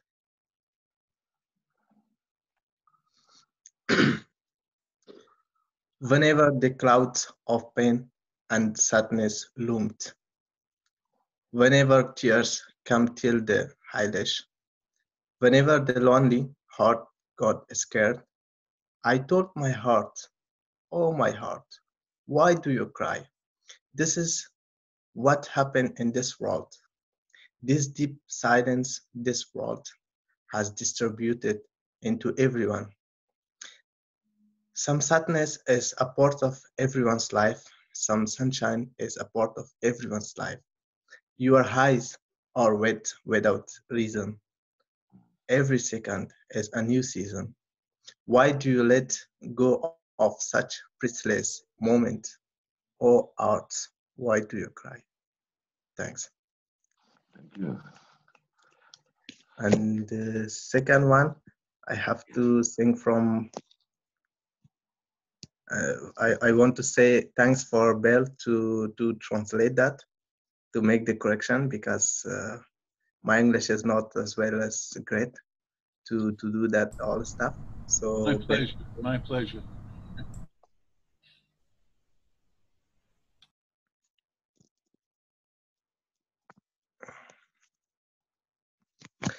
Everything will be better when you are within what's better.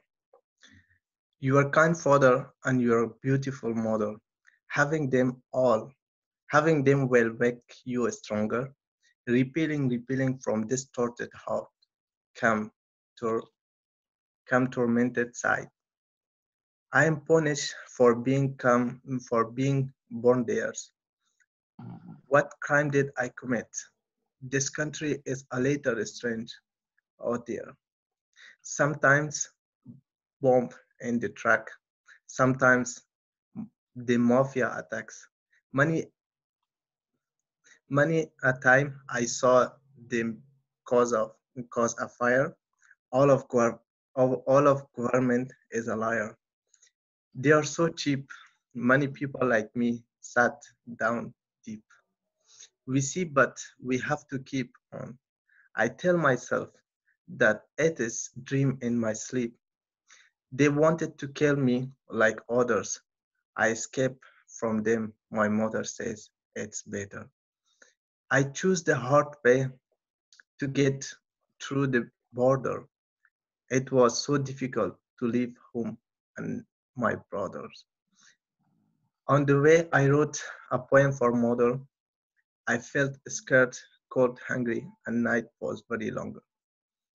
Crossing the beach, bloody for for an hour. Sixteen days pass. You feel dirty but have no shower. The smuggler took everything, even my money. I arrive in Paris with nothing like a new baby. I have no language, no money, no family. I thought that Paris was a was so pretty, but it but it wasn't.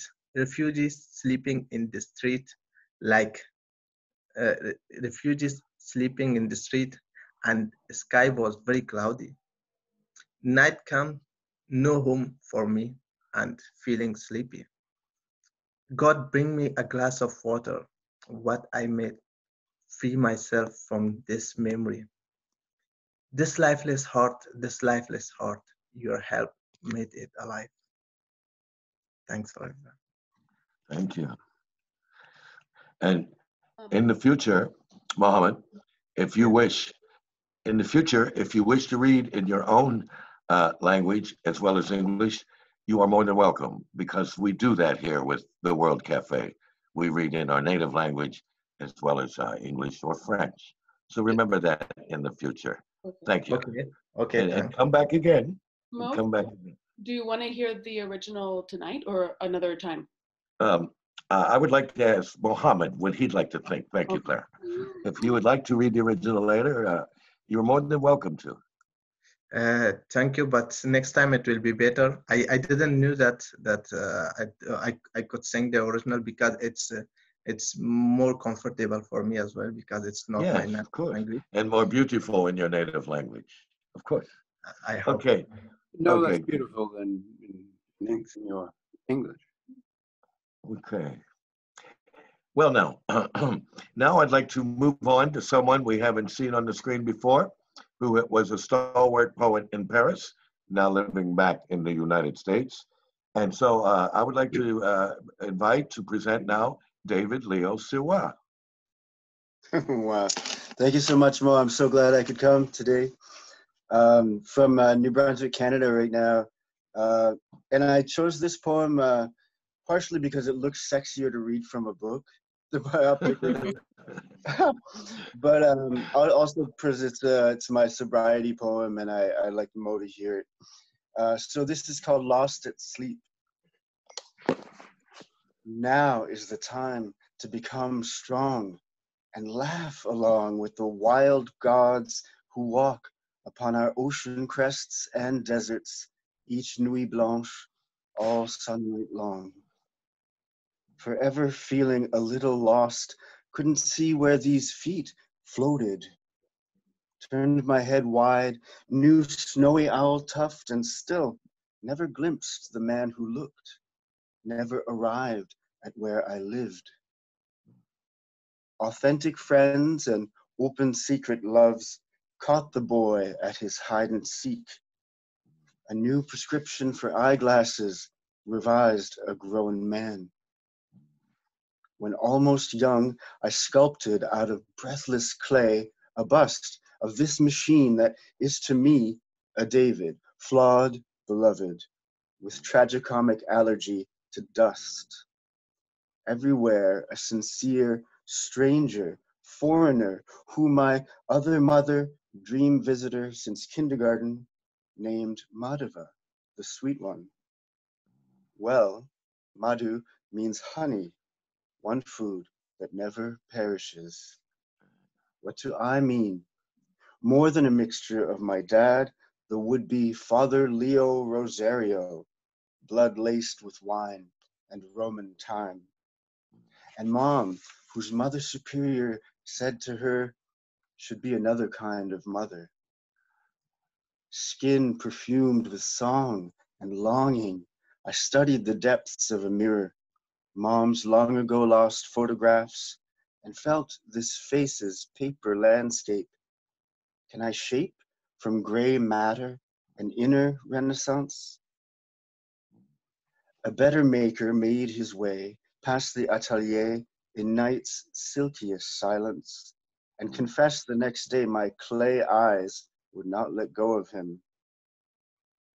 A generation later, the coast of my mortality came into view. Near a lighthouse, my ribs attempted to clutch, touch last year's man, the future's elusive, illusory wife, drenched in a blood red, supposed cure for pain. I tumbled down onto metro tracks a minute before the train, a sign not hard to read. Lost at sleep below a pine green bench, a match set with the bottle by my pillow that drank 33 degree dawn rain on Rue des Saules, Weeping Willow Road, no joke. I was blinded by my thickest blanket. Twelve moons grown and gone since my sisters plucked me out from that Parisian sea of empty thirst. A dream walk through dark woods, direct path lost to me. I follow your quick ballerina feet, medicine woman, humble shaman. You murmur in my ear a soft and strong poetic letter, not that firefly word, blessings, which my other mother whispered firmly after nine pregnant moons, moons, the hour before I moved out of her rooms of blue pearl incense filled with gods and echoes of sacred Sanskrit names, words of infinite resonance. Your role charged with the subtle power to delicately deliver her hardest message, diamond so dense with knowing you break each hammer that falls. No apocalyptic trumpet, no alarms to startle me. Your breath warms my dream. This is the year of the key. Do not romanticize that season of slow Montmartre mist. Mornings came to consciousness with faint, stale smells of fermented grapes. Snowdrop and crocus could have claimed your form. You must change your life or die, David. Wear your other mother's fuller name, Madhava, the sweet one, honey steeped in plain green tea. Come to poetry, come to me. Go to music, go to me. Yes, yes, Yeah. yes, yes. yes. All right. Well, Thank you. Thank you, David. Thank you. yeah. You're welcome. I, I um, David, I, I read that poem when you posted it online, and as you indicated, it means something very directly intimate between you and I. As I also, I myself, I gave up alcoholism and uh, haven't looked back, and that's why I'm sitting here Yeah. alive today. But anyway, I want to thank you and ask you if you have another one, Uh, if you wish, yes, a short one. Um, please. This is a poem. It's a, it's a meditation on meditation. It's called. Still. Mhm. Still. The dead can do it. From them I learn to be still and quiet. Still, my thoughts are loud. Still, I murmur in images. Still, there are minuscule movements I can't control when I sit still. Gentle tremble of hands, eyes, lips, and the mind's blizzard of pointed letters. In a not quite forgotten full lotus pose ritual, I begin to fill my body with an expanding soul steeped in the spirit of the whole universe's blue lotus, one turning. Night unfolds the contours of her charcoal velvet blanket, and I sense my red magnetic spirit drawn toward you more than beforehand. Another movement I cannot control. My empty palms reach for the circle of light you wear around your dancer's figure across the border river. Echoes of your evening teachings, lightning on my inner night horizon.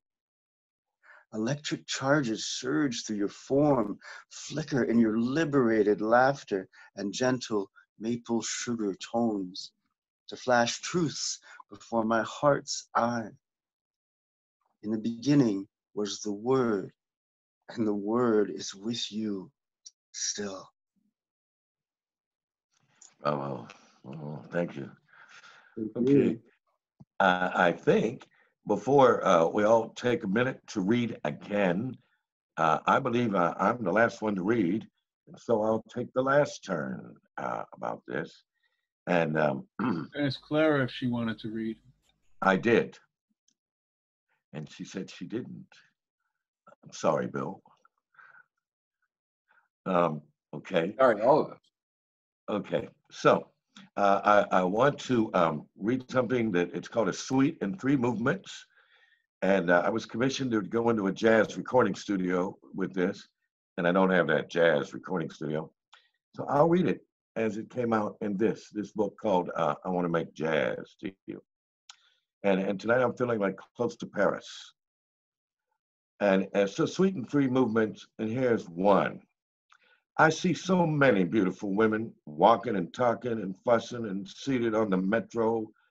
Paris abounds with radiant femmes. The beauties most attractive to me are brunettes, brown, and black haired ladies of various nationalities. I stare with discretion at a well measured distance. These women are neither very young nor very old, but in their prime. And within moments, the cause of my admiration becomes clear. They resemble you. Oftentimes, I superimpose you, your face, upon these women, and I imagine you. I quickly become sensual, growing warm, affectionate, love struck for you. I may close my eyes to envision the deep wells of your eyes. Next, I draw out your smile. I will call up your voice and listen to your laughter, ha ha. I then outline and slowly trace your most erotic physique. If I should allow this distraction to continue, I reach for the touch of your hand, your shoulder, the nape of your soft neck, and translate, translate, translate, I lean forward into your embrace. This is the moment I lose all sense of my intended destination as I am rendered helpless before the image of you. There is no vacuum between lovers. This is the intangible law of love. And I am in that timeless space consumed by throbbing sensations, romantic desires. I have entered an ethereal mist of delightful fragrance, most uniquely yours. Vertigo sends me reeling, absent the confines of floor and walls and ceiling. I have escaped gravity's hold, afloat in weightless abandon, a state of absolute comfort, safe and secure from doubt and reservation. I know them both so well, but here I am enjoying to the love that is you. Mere mortal, I know I am a bell, a buzzer, the shriek of the brakes returns me to my task at hand and I step from the metro and exit through the door to feel the slap of cold winter rain on my face. And at this juncture, your presence is indelibly stamped to my heart. Alone, I need no word or sight of you, no palpable contact. The proof of my love is stowed unshakable in the deep reserve of me, reserved again for you. From this wellspring, you flow fluid, flush circulating through my body, through my limbs, in my mind's eye, part and parcel of the breath I give out.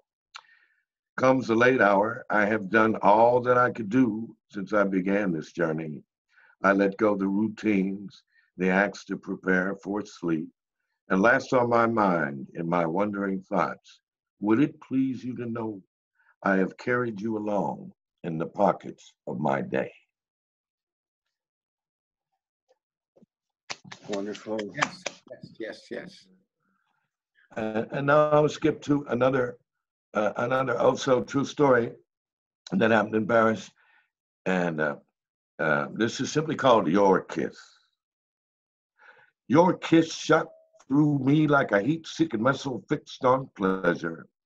Your breath fanned my flame, the blood in my tongue caught fire. Your kiss put back the light in my eyes. I am shining and bright. I see the road home in the centuries of stone.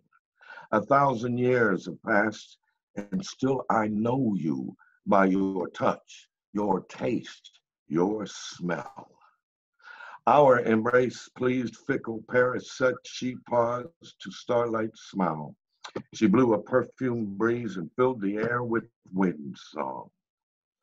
Your kiss solved mysteries, stirred in my vague dreams of exile across the sands of time, adrift in a sea of solitude. And under midnight skies I rose, I sang your song in the darkness. Your kiss is ageless, its taste of herbs and oils, a balm to my lip, a salve to my soul. Your kiss was brief, and soon you gone. I stand alone, without a song, where river spills into her ocean, spellbound still, I let you go.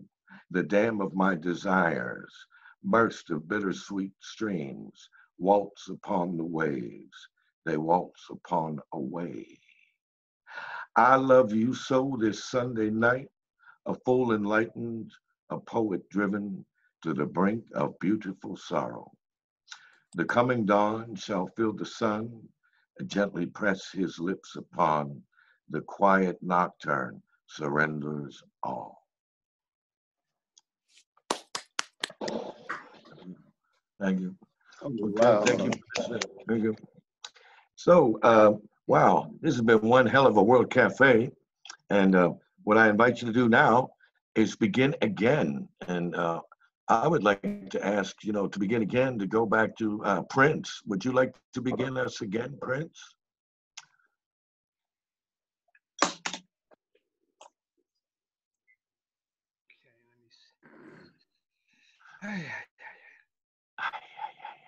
I was so comfortable. yeah. Okay, let's see what we got here. And I would ask us to do a two short ones or one long one. Uh, and if we're around after that cycle, we'll go into a third round. Okay.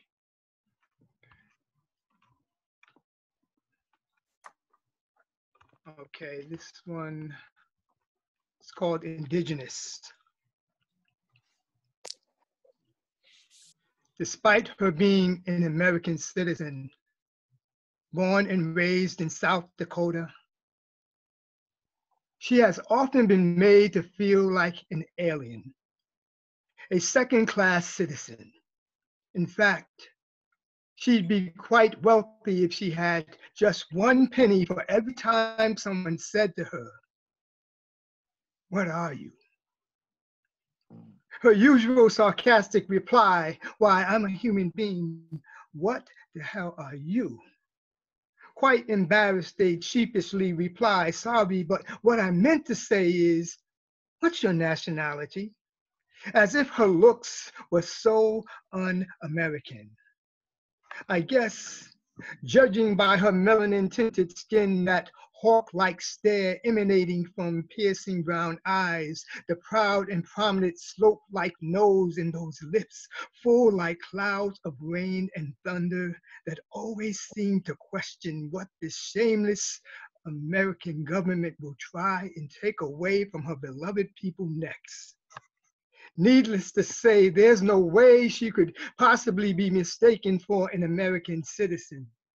A Mexican, maybe, though her features were clearly quite indigenous, with an elongated chin and chiseled cheekbones as sharp as mountain ridges, the proud blood of the ancestors still alive, ever flowing like a river of wild salmon, running freely through her veins.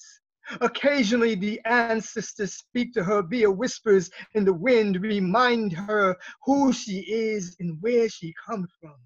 So she, in turn, will remind others of the indigenous people who first roamed this land alongside the wolves, the deer, the eagle, and the bison the true Americans who roamed this continent for centuries, long before the Christian mercenaries and the white settlers came with their guns, their ships, their Bible, and their Jesus. Long before there ever were the United States of America.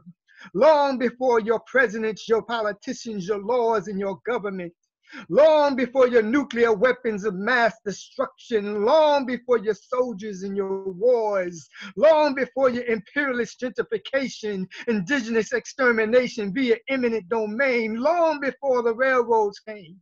Long before the slave trade, Jim Crow, and the civil rights movement, long before the gold rush, black gold, big pharma, big tobacco, and the NRA, long before your border walls and homeland security, long before Walmart, Wall Street, long before McDonald's, Target, and Starbucks, long before your miseducational system, matrix indoctrination via radio and television, long before mandatory school vaccinations and forced sterilizations, long before your diseases started killing us AIDS, cancer, Ebola, and smallpox. Long before the Pony Express, Morse code, the U.S. Post Office, AT&T, and the internet.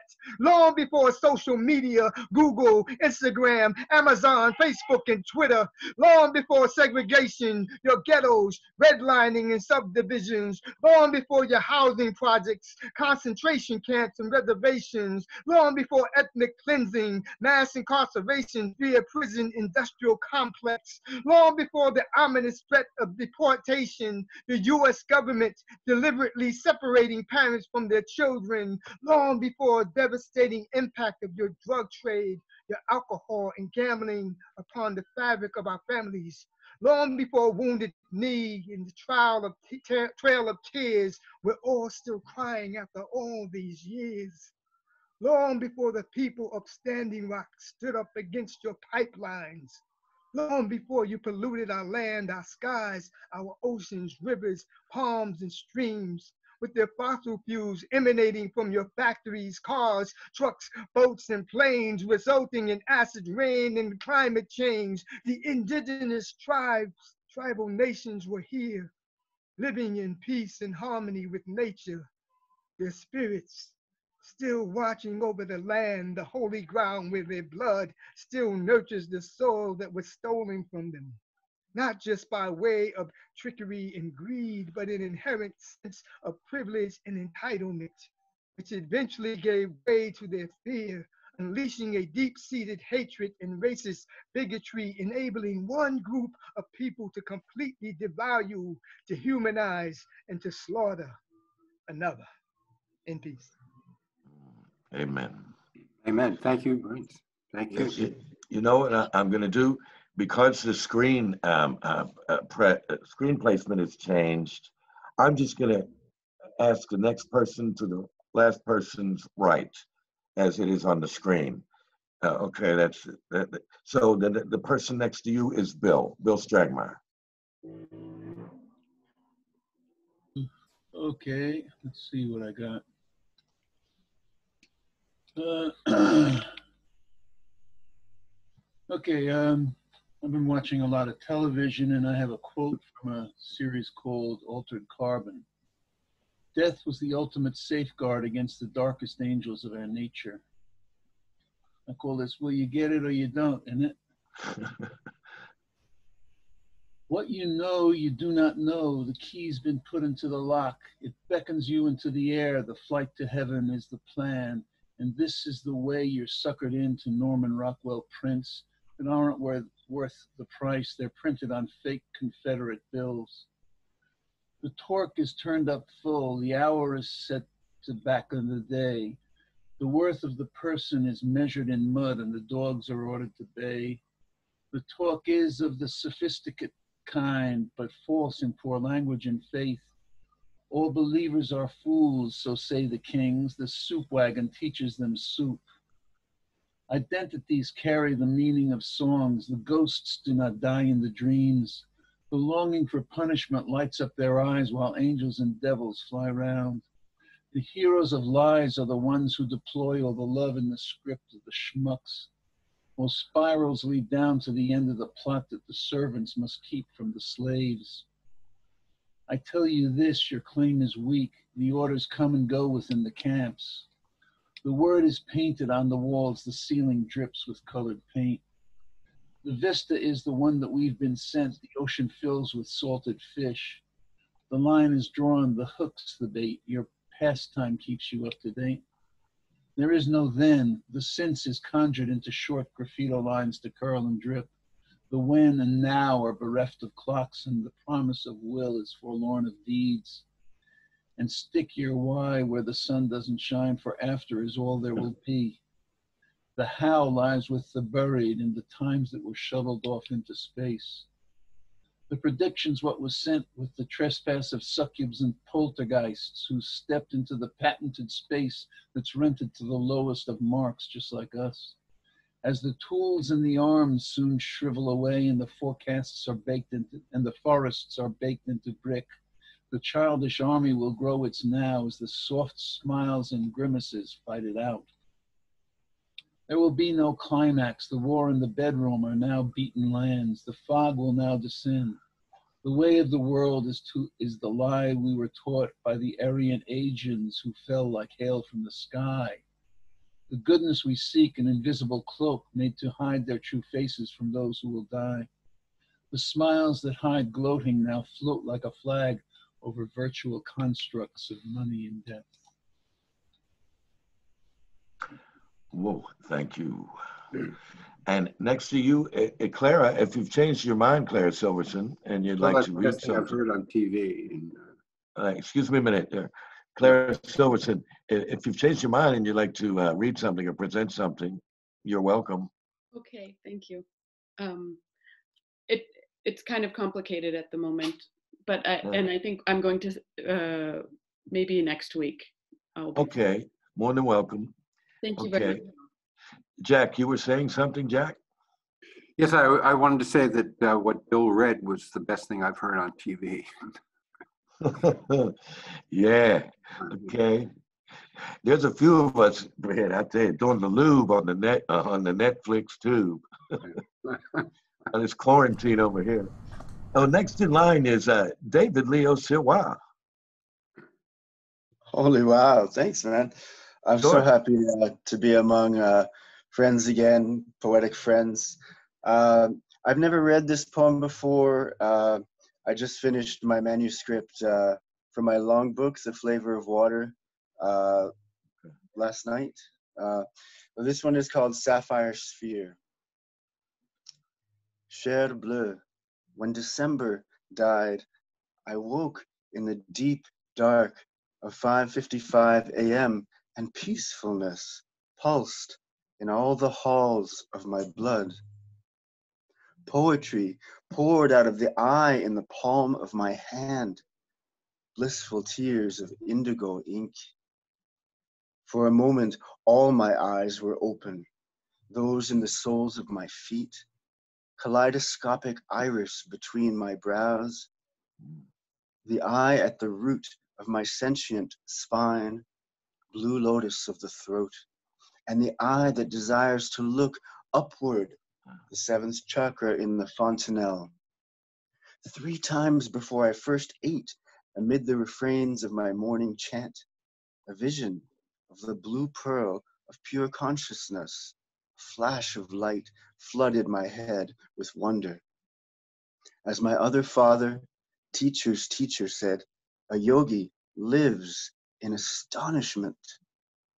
On hearing this, my heart fell into sweet silence, one taste of this truth.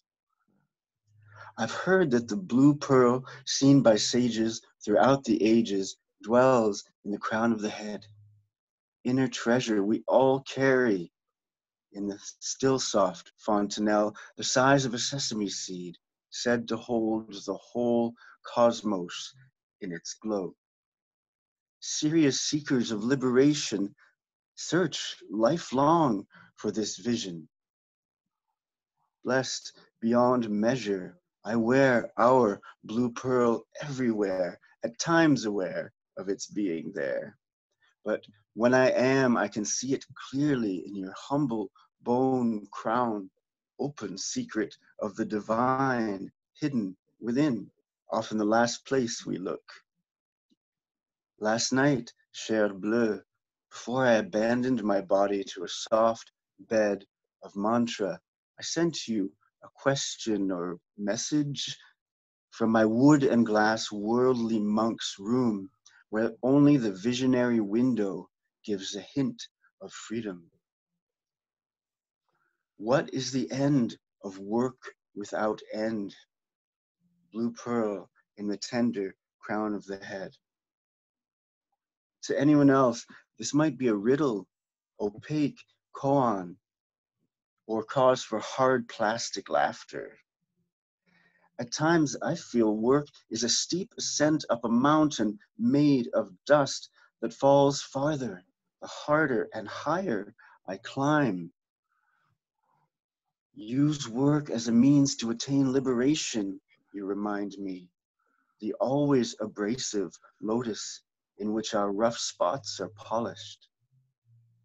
Cher bleu clair, forever we begin again, here on this well lit paper stage of spotless awareness, where it is clear I am unreal, yet feel far more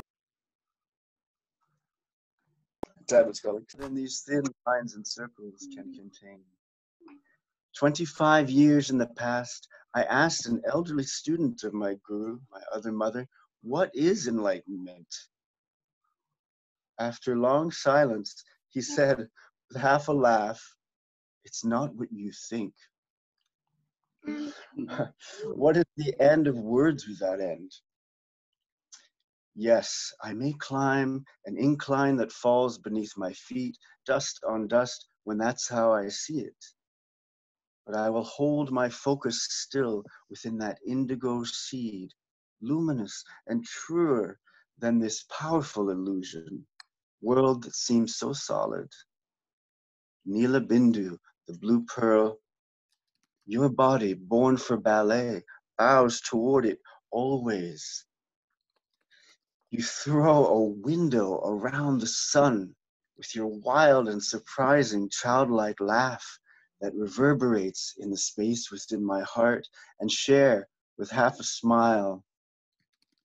Maybe enlightenment is the biggest joke of all.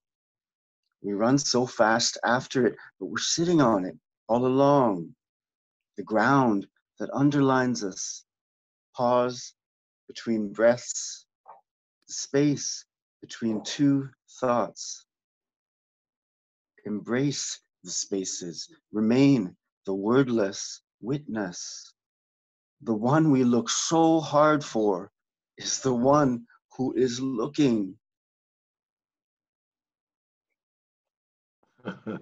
Namaste, David. Namaste. Okay. Next time you- don't be so quick next time. the blue pearl, that's great. Thank okay, you. ne- next would be Roxanne. Hello, Roxanne. Um, I'm working. uh, there you go. Am I on now? Yeah, yeah. You're always on, Roxanne. All right. So this is a little uh, introduction to a prose piece I'm working on. I'm just going to read the first paragraph. Um, once upon a time, there were two young friends, a boy and a girl living side by side in adjacent houses, playing together every day in their shared garden, playmates as close as siblings. Each child imagined to be the other's sweetheart, and both considered the future perpetuation of this tandem existence inevitable and unremarkable. They played pretend as if this game were a rehearsal for that future, practicing every detail of their harmonious life together to joint satisfaction. As they matured, their childhood pretense turned into romance and perhaps what some might call true love. They showered each other with constant praise and frequently exchanged small, precious gifts of the heart. The teeniest pink rose one day, a slippery green lizard the next, the sighting of a cobweb sparkling with diamonds after the rain, a shared discovery of a robin's nest with its loot of pale blue eggs, the perfect skipping stone to flick across the width of the pond, the linger of fingers, the comfort of embrace, warm breath on the nape of the neck, reassuring whispers in the ear, the brush of soft lips, all preludes to a kiss. Beautiful. Thank you. Yeah. Okay. And now if we could hear from Cesar. Caesar. Hello, Cesar. Yeah, uh, uh, was I on the on the order that you were? Yeah, yeah. On, Okay. this, on my s- on my screen, Oh, I'm calling really? everyone. who You're in the right everyone. place. You're the right time. Okay. Okay, hold on. Um. Okay, so I'm gonna read in English, and then in Spanish, and then in English again, like I usually do. Um. Okay. Stoicism for the masses. Let's talk about the Doppler effect and react accordingly, trying not to leave big gaps in comprehension. I had to transport myself psychically to the Bay Area just so I could accomplish the splitting at such critical stage before the curves flatten. Realize it's not a race. It has taken others the best parts of their lives to write do- down what their dreams meant. Static feather. I awakened with the desire to place you on my palm so you could la- later dance on this page. A girl wanted to be taken back to blazing high hills and listen to a Beck record she used to bump as a teenager, hooked on Elliot.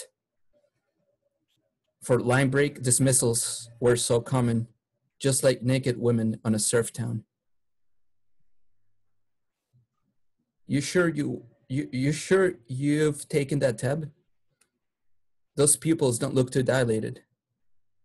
Meditation has turned into the drug of choice. Subtle mudra signals were sent to my initiated pals so that their hearts could shed layers and expose their truest colors from within. In tune with Blue Jay's songs. firmly established prophets, waving at the least experienced from perspe- respective chariots, sipping under pina coladas, as they lounged in their praising Leviathan, as they creeped up from the depths of the urban miasma. So that's um, I would ask you to choose one of the two languages for time's sake. Your choice, French or Spanish. okay, sure. Spanish. Uh, estoy bien. Yeah.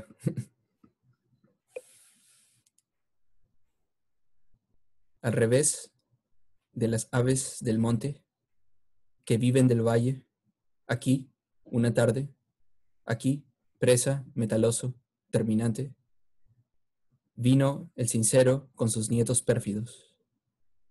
Y nosotros quedámonos, que no hay más madera en la cruz de la derecha, ni más hierro en el clavo de la izquierda, que un apretón de manos entre zurdos. Vino el sincero, ciego, con sus lámparas. Se vio al pálido, aquí, bastar al encarnado. Nació de puro humilde el grande.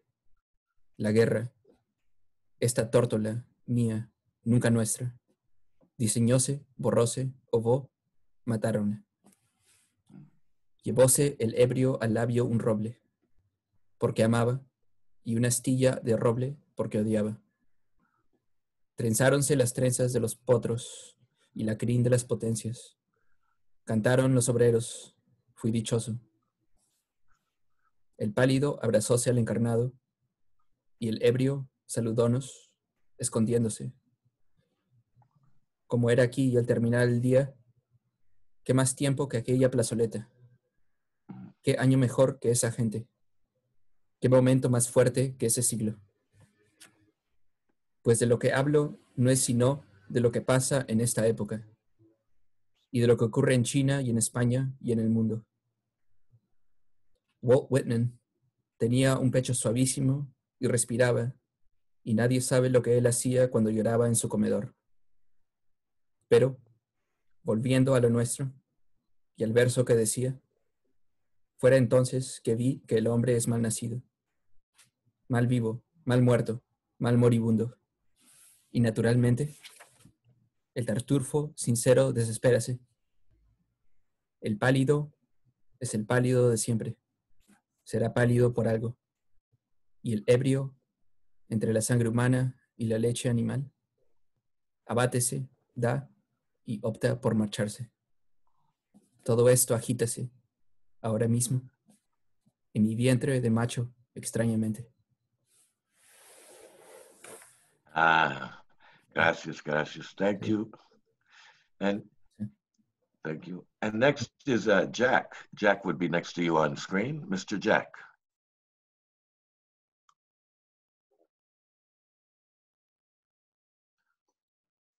I didn't know I was next to him on screen. I, Yeah, yeah, yeah, you are.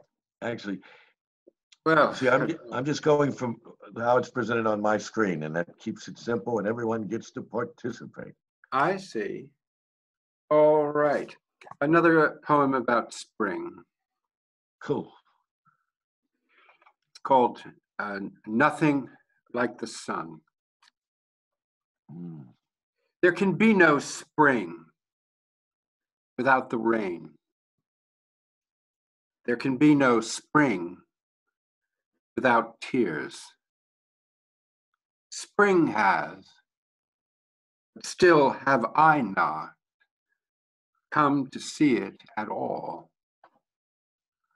Blossom from calorie, pear, tips oblivion, like tears.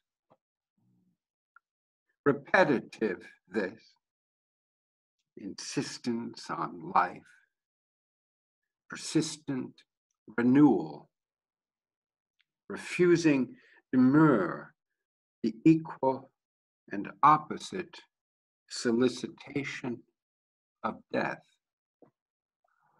Behead each daffodil. Dread every hyacinth. Chop down the cherry, lest it drop of its own accord. Let want of rain lay desolate summer swath before its time. Humidity already fills the air, excoriates as winter steam will shrink the grape never drunk. Spring but once goes, comes always coerced. So one knows. Thank you, Jack. Nothing like the sun. Right. Can't do without it. And next to you is Mohammed. Mohammed Anif. Thank you, thank you, thank you. So, uh, I suppose since uh, the, some people have read their prose, I'm going to go ahead and read one that I've written a long time ago. And it is called Love Can Make Irresponsible Children of Adults. Love can make irresponsible children of adults. We hear of things, the Miss and Mr. dismissed after years of pretentious and promises that pretenses and promises that rang hollow. How one pretentiously sizing himself to the caliber of men or a woman committing only to entitlement of being free from baggage, as if this is who I am, would dismiss what I must do. They all enter hormone driven immortal. They, they all enter hormone driven, immortal, seeking only to reap the benefits, momentary sparks of bliss that could ignite some measure of significance in, in their lives. If he would only take one step, one hard, deliberate, laborious step that could set him and her on a path to a journey in which the monotony of life could be broken down to one of meaning. How one can act reckless, yet more earnest than all the homes they have broken finding each other, could be the deed that finally unravels the whole moral of the story. Love is not the point where pleasant coincidences and circumstances meet.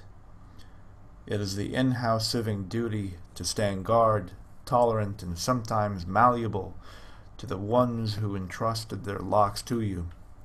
The tenacious pursuit of sculpting fine moments of, out of crude and rough piles of fake debris, refusing to be encrusted by delusions of eternal youth.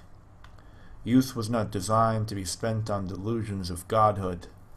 It is not designed to be burnt out on the senseless pursuit of gratification, a capstone for an ego that does not stop rising its building blocks the lives they have invaded, and left with hands held high, passively imposing their innocence against the responsibilities they were due.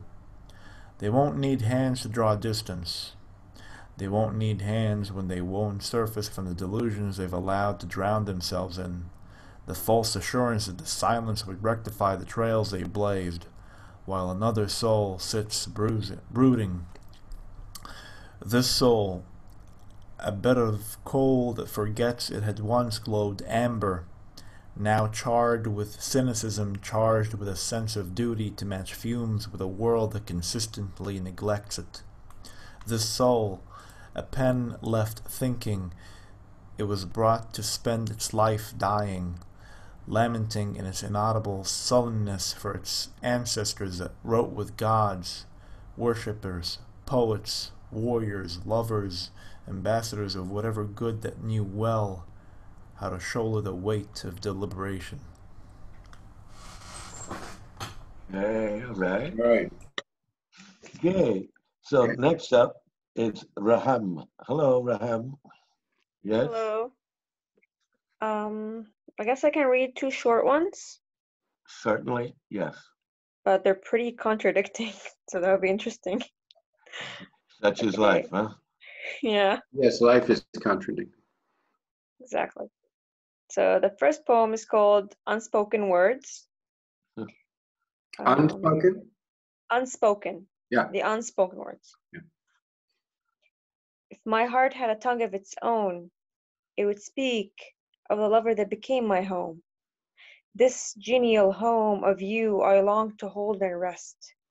I dream to be a host, a nightmare it is, if I remain a guest. If you sent yellow roses in crimson color I'd paint, for I can't just be a friend, a yellow rose that would faint. In this city, they seek the illusion of perfection, but we all have our black dots that ache for connection. So this is the first one. the Thank you. contradicting the contradicting poem is called The Lost Boy. Beware of the lost hearts. They tend to leave broken pieces behind. Beware of the wavering minds. They cling so loosely to our hands. We are fooled by boys who wear the skin of men, who let their pride speak while their desire is silenced, who think their scars are a story of failure and weakness, who own a tongue drenched in lies. A journey I will not share, regardless if I care. You will not find yourself in me, and you will not break me as you look for yourself. Thank you. Thank you. Thank you. Thank you. Actually, well, actually, I was going to say I, that, that just seems so typical of what it is to be to have love and lose love, find love Yeah, again. Actually, exactly. The dialectics of love. So when you said that that's life, I was like, exactly. That's how it Yeah. is. And so next Yeah, up but on what the a way to go, you know. Sorry? What a way to go. Yes. Yeah, yeah, yeah. Okay, so next up on the screen is Christopher. I had a feeling, so I'm a little prepared here. Uh, I shared this poem on Spoken Word Paris too. I don't know if I, I don't think I've shared it with this particular crowd, but it's an actual experience, and I think mm-hmm. I'll just let the poem speak for itself. It's called "I Was in Charlottesville," and just yeah, quick a quick snippet. I was there almost three summers ago when Heather Heyer died, and at the Unite the Right rally with all those neo Nazis and all that all that mess. I was right in the thick of it, so this is my experience documenting. I was in Charlottesville during the mayhem, the marches, protests, the fighting, the screaming, the death, the mess, the mess. I was in Charlottesville watching neo Nazis right in front of me, acting, acting as if they wanted to harm me, physically harm me. I was in Charlottesville. It was real. The atmosphere was ill. It would have emotions build. I watched emotions build. It would have given you the chills, the chills. I was in Charlottesville where our country clashed over the decision to take down the statue of Robert E. Lee, spearheaded by a young black teenager, but you don't hear that on TV.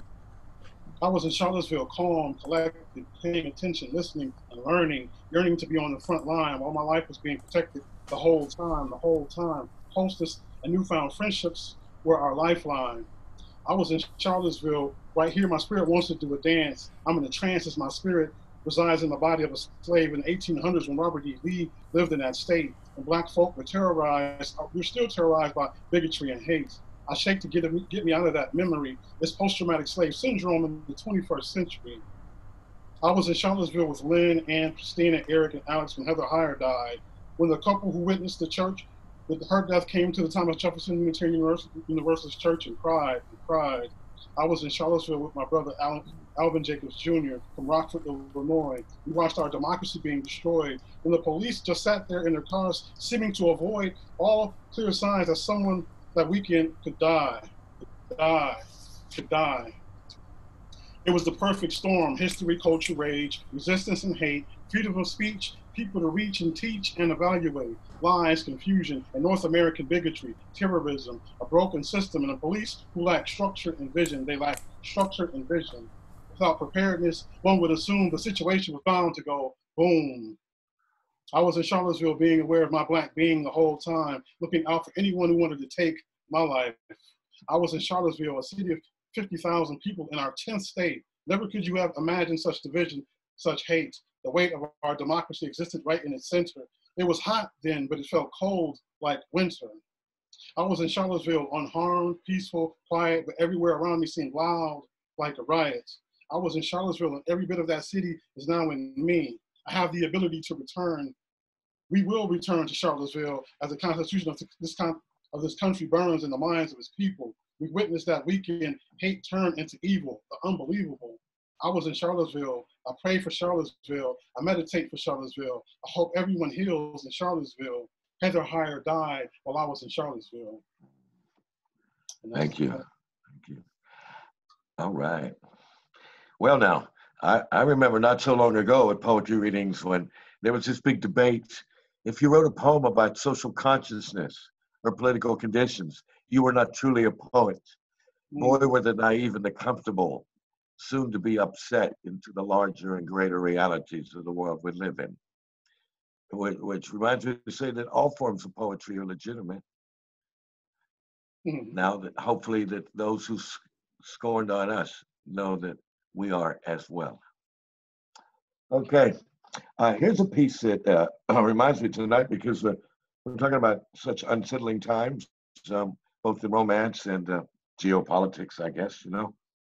Uh, and I presented this before a, a, a delegation of Russians and dur- during a very hot um, political climate. I was asked to read, they performed jazz, and I followed by reading this poem. So I'm going to read it here tonight. And uh, it's called Возможно. And Возможно means possible. It is possible.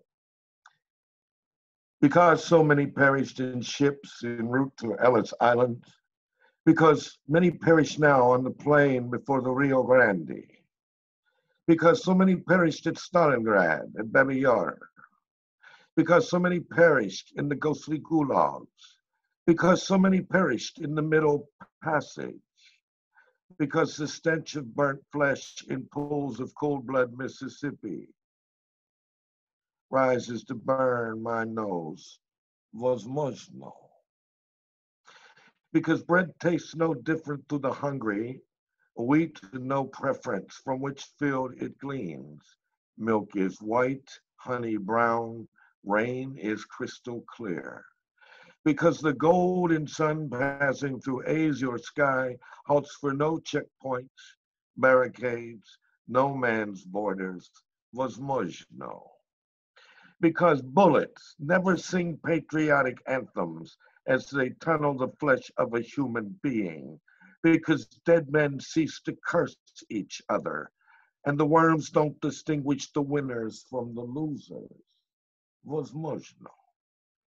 Because the harbingers of death varnish our minds, their toxic tongues, brains insane, hearts of empty space, ignorance, fear, oh, so hate, varnished upon a nuclear nose cone destined to kill you so suddenly you will not have time to hear me cry as I do die a megaton second after.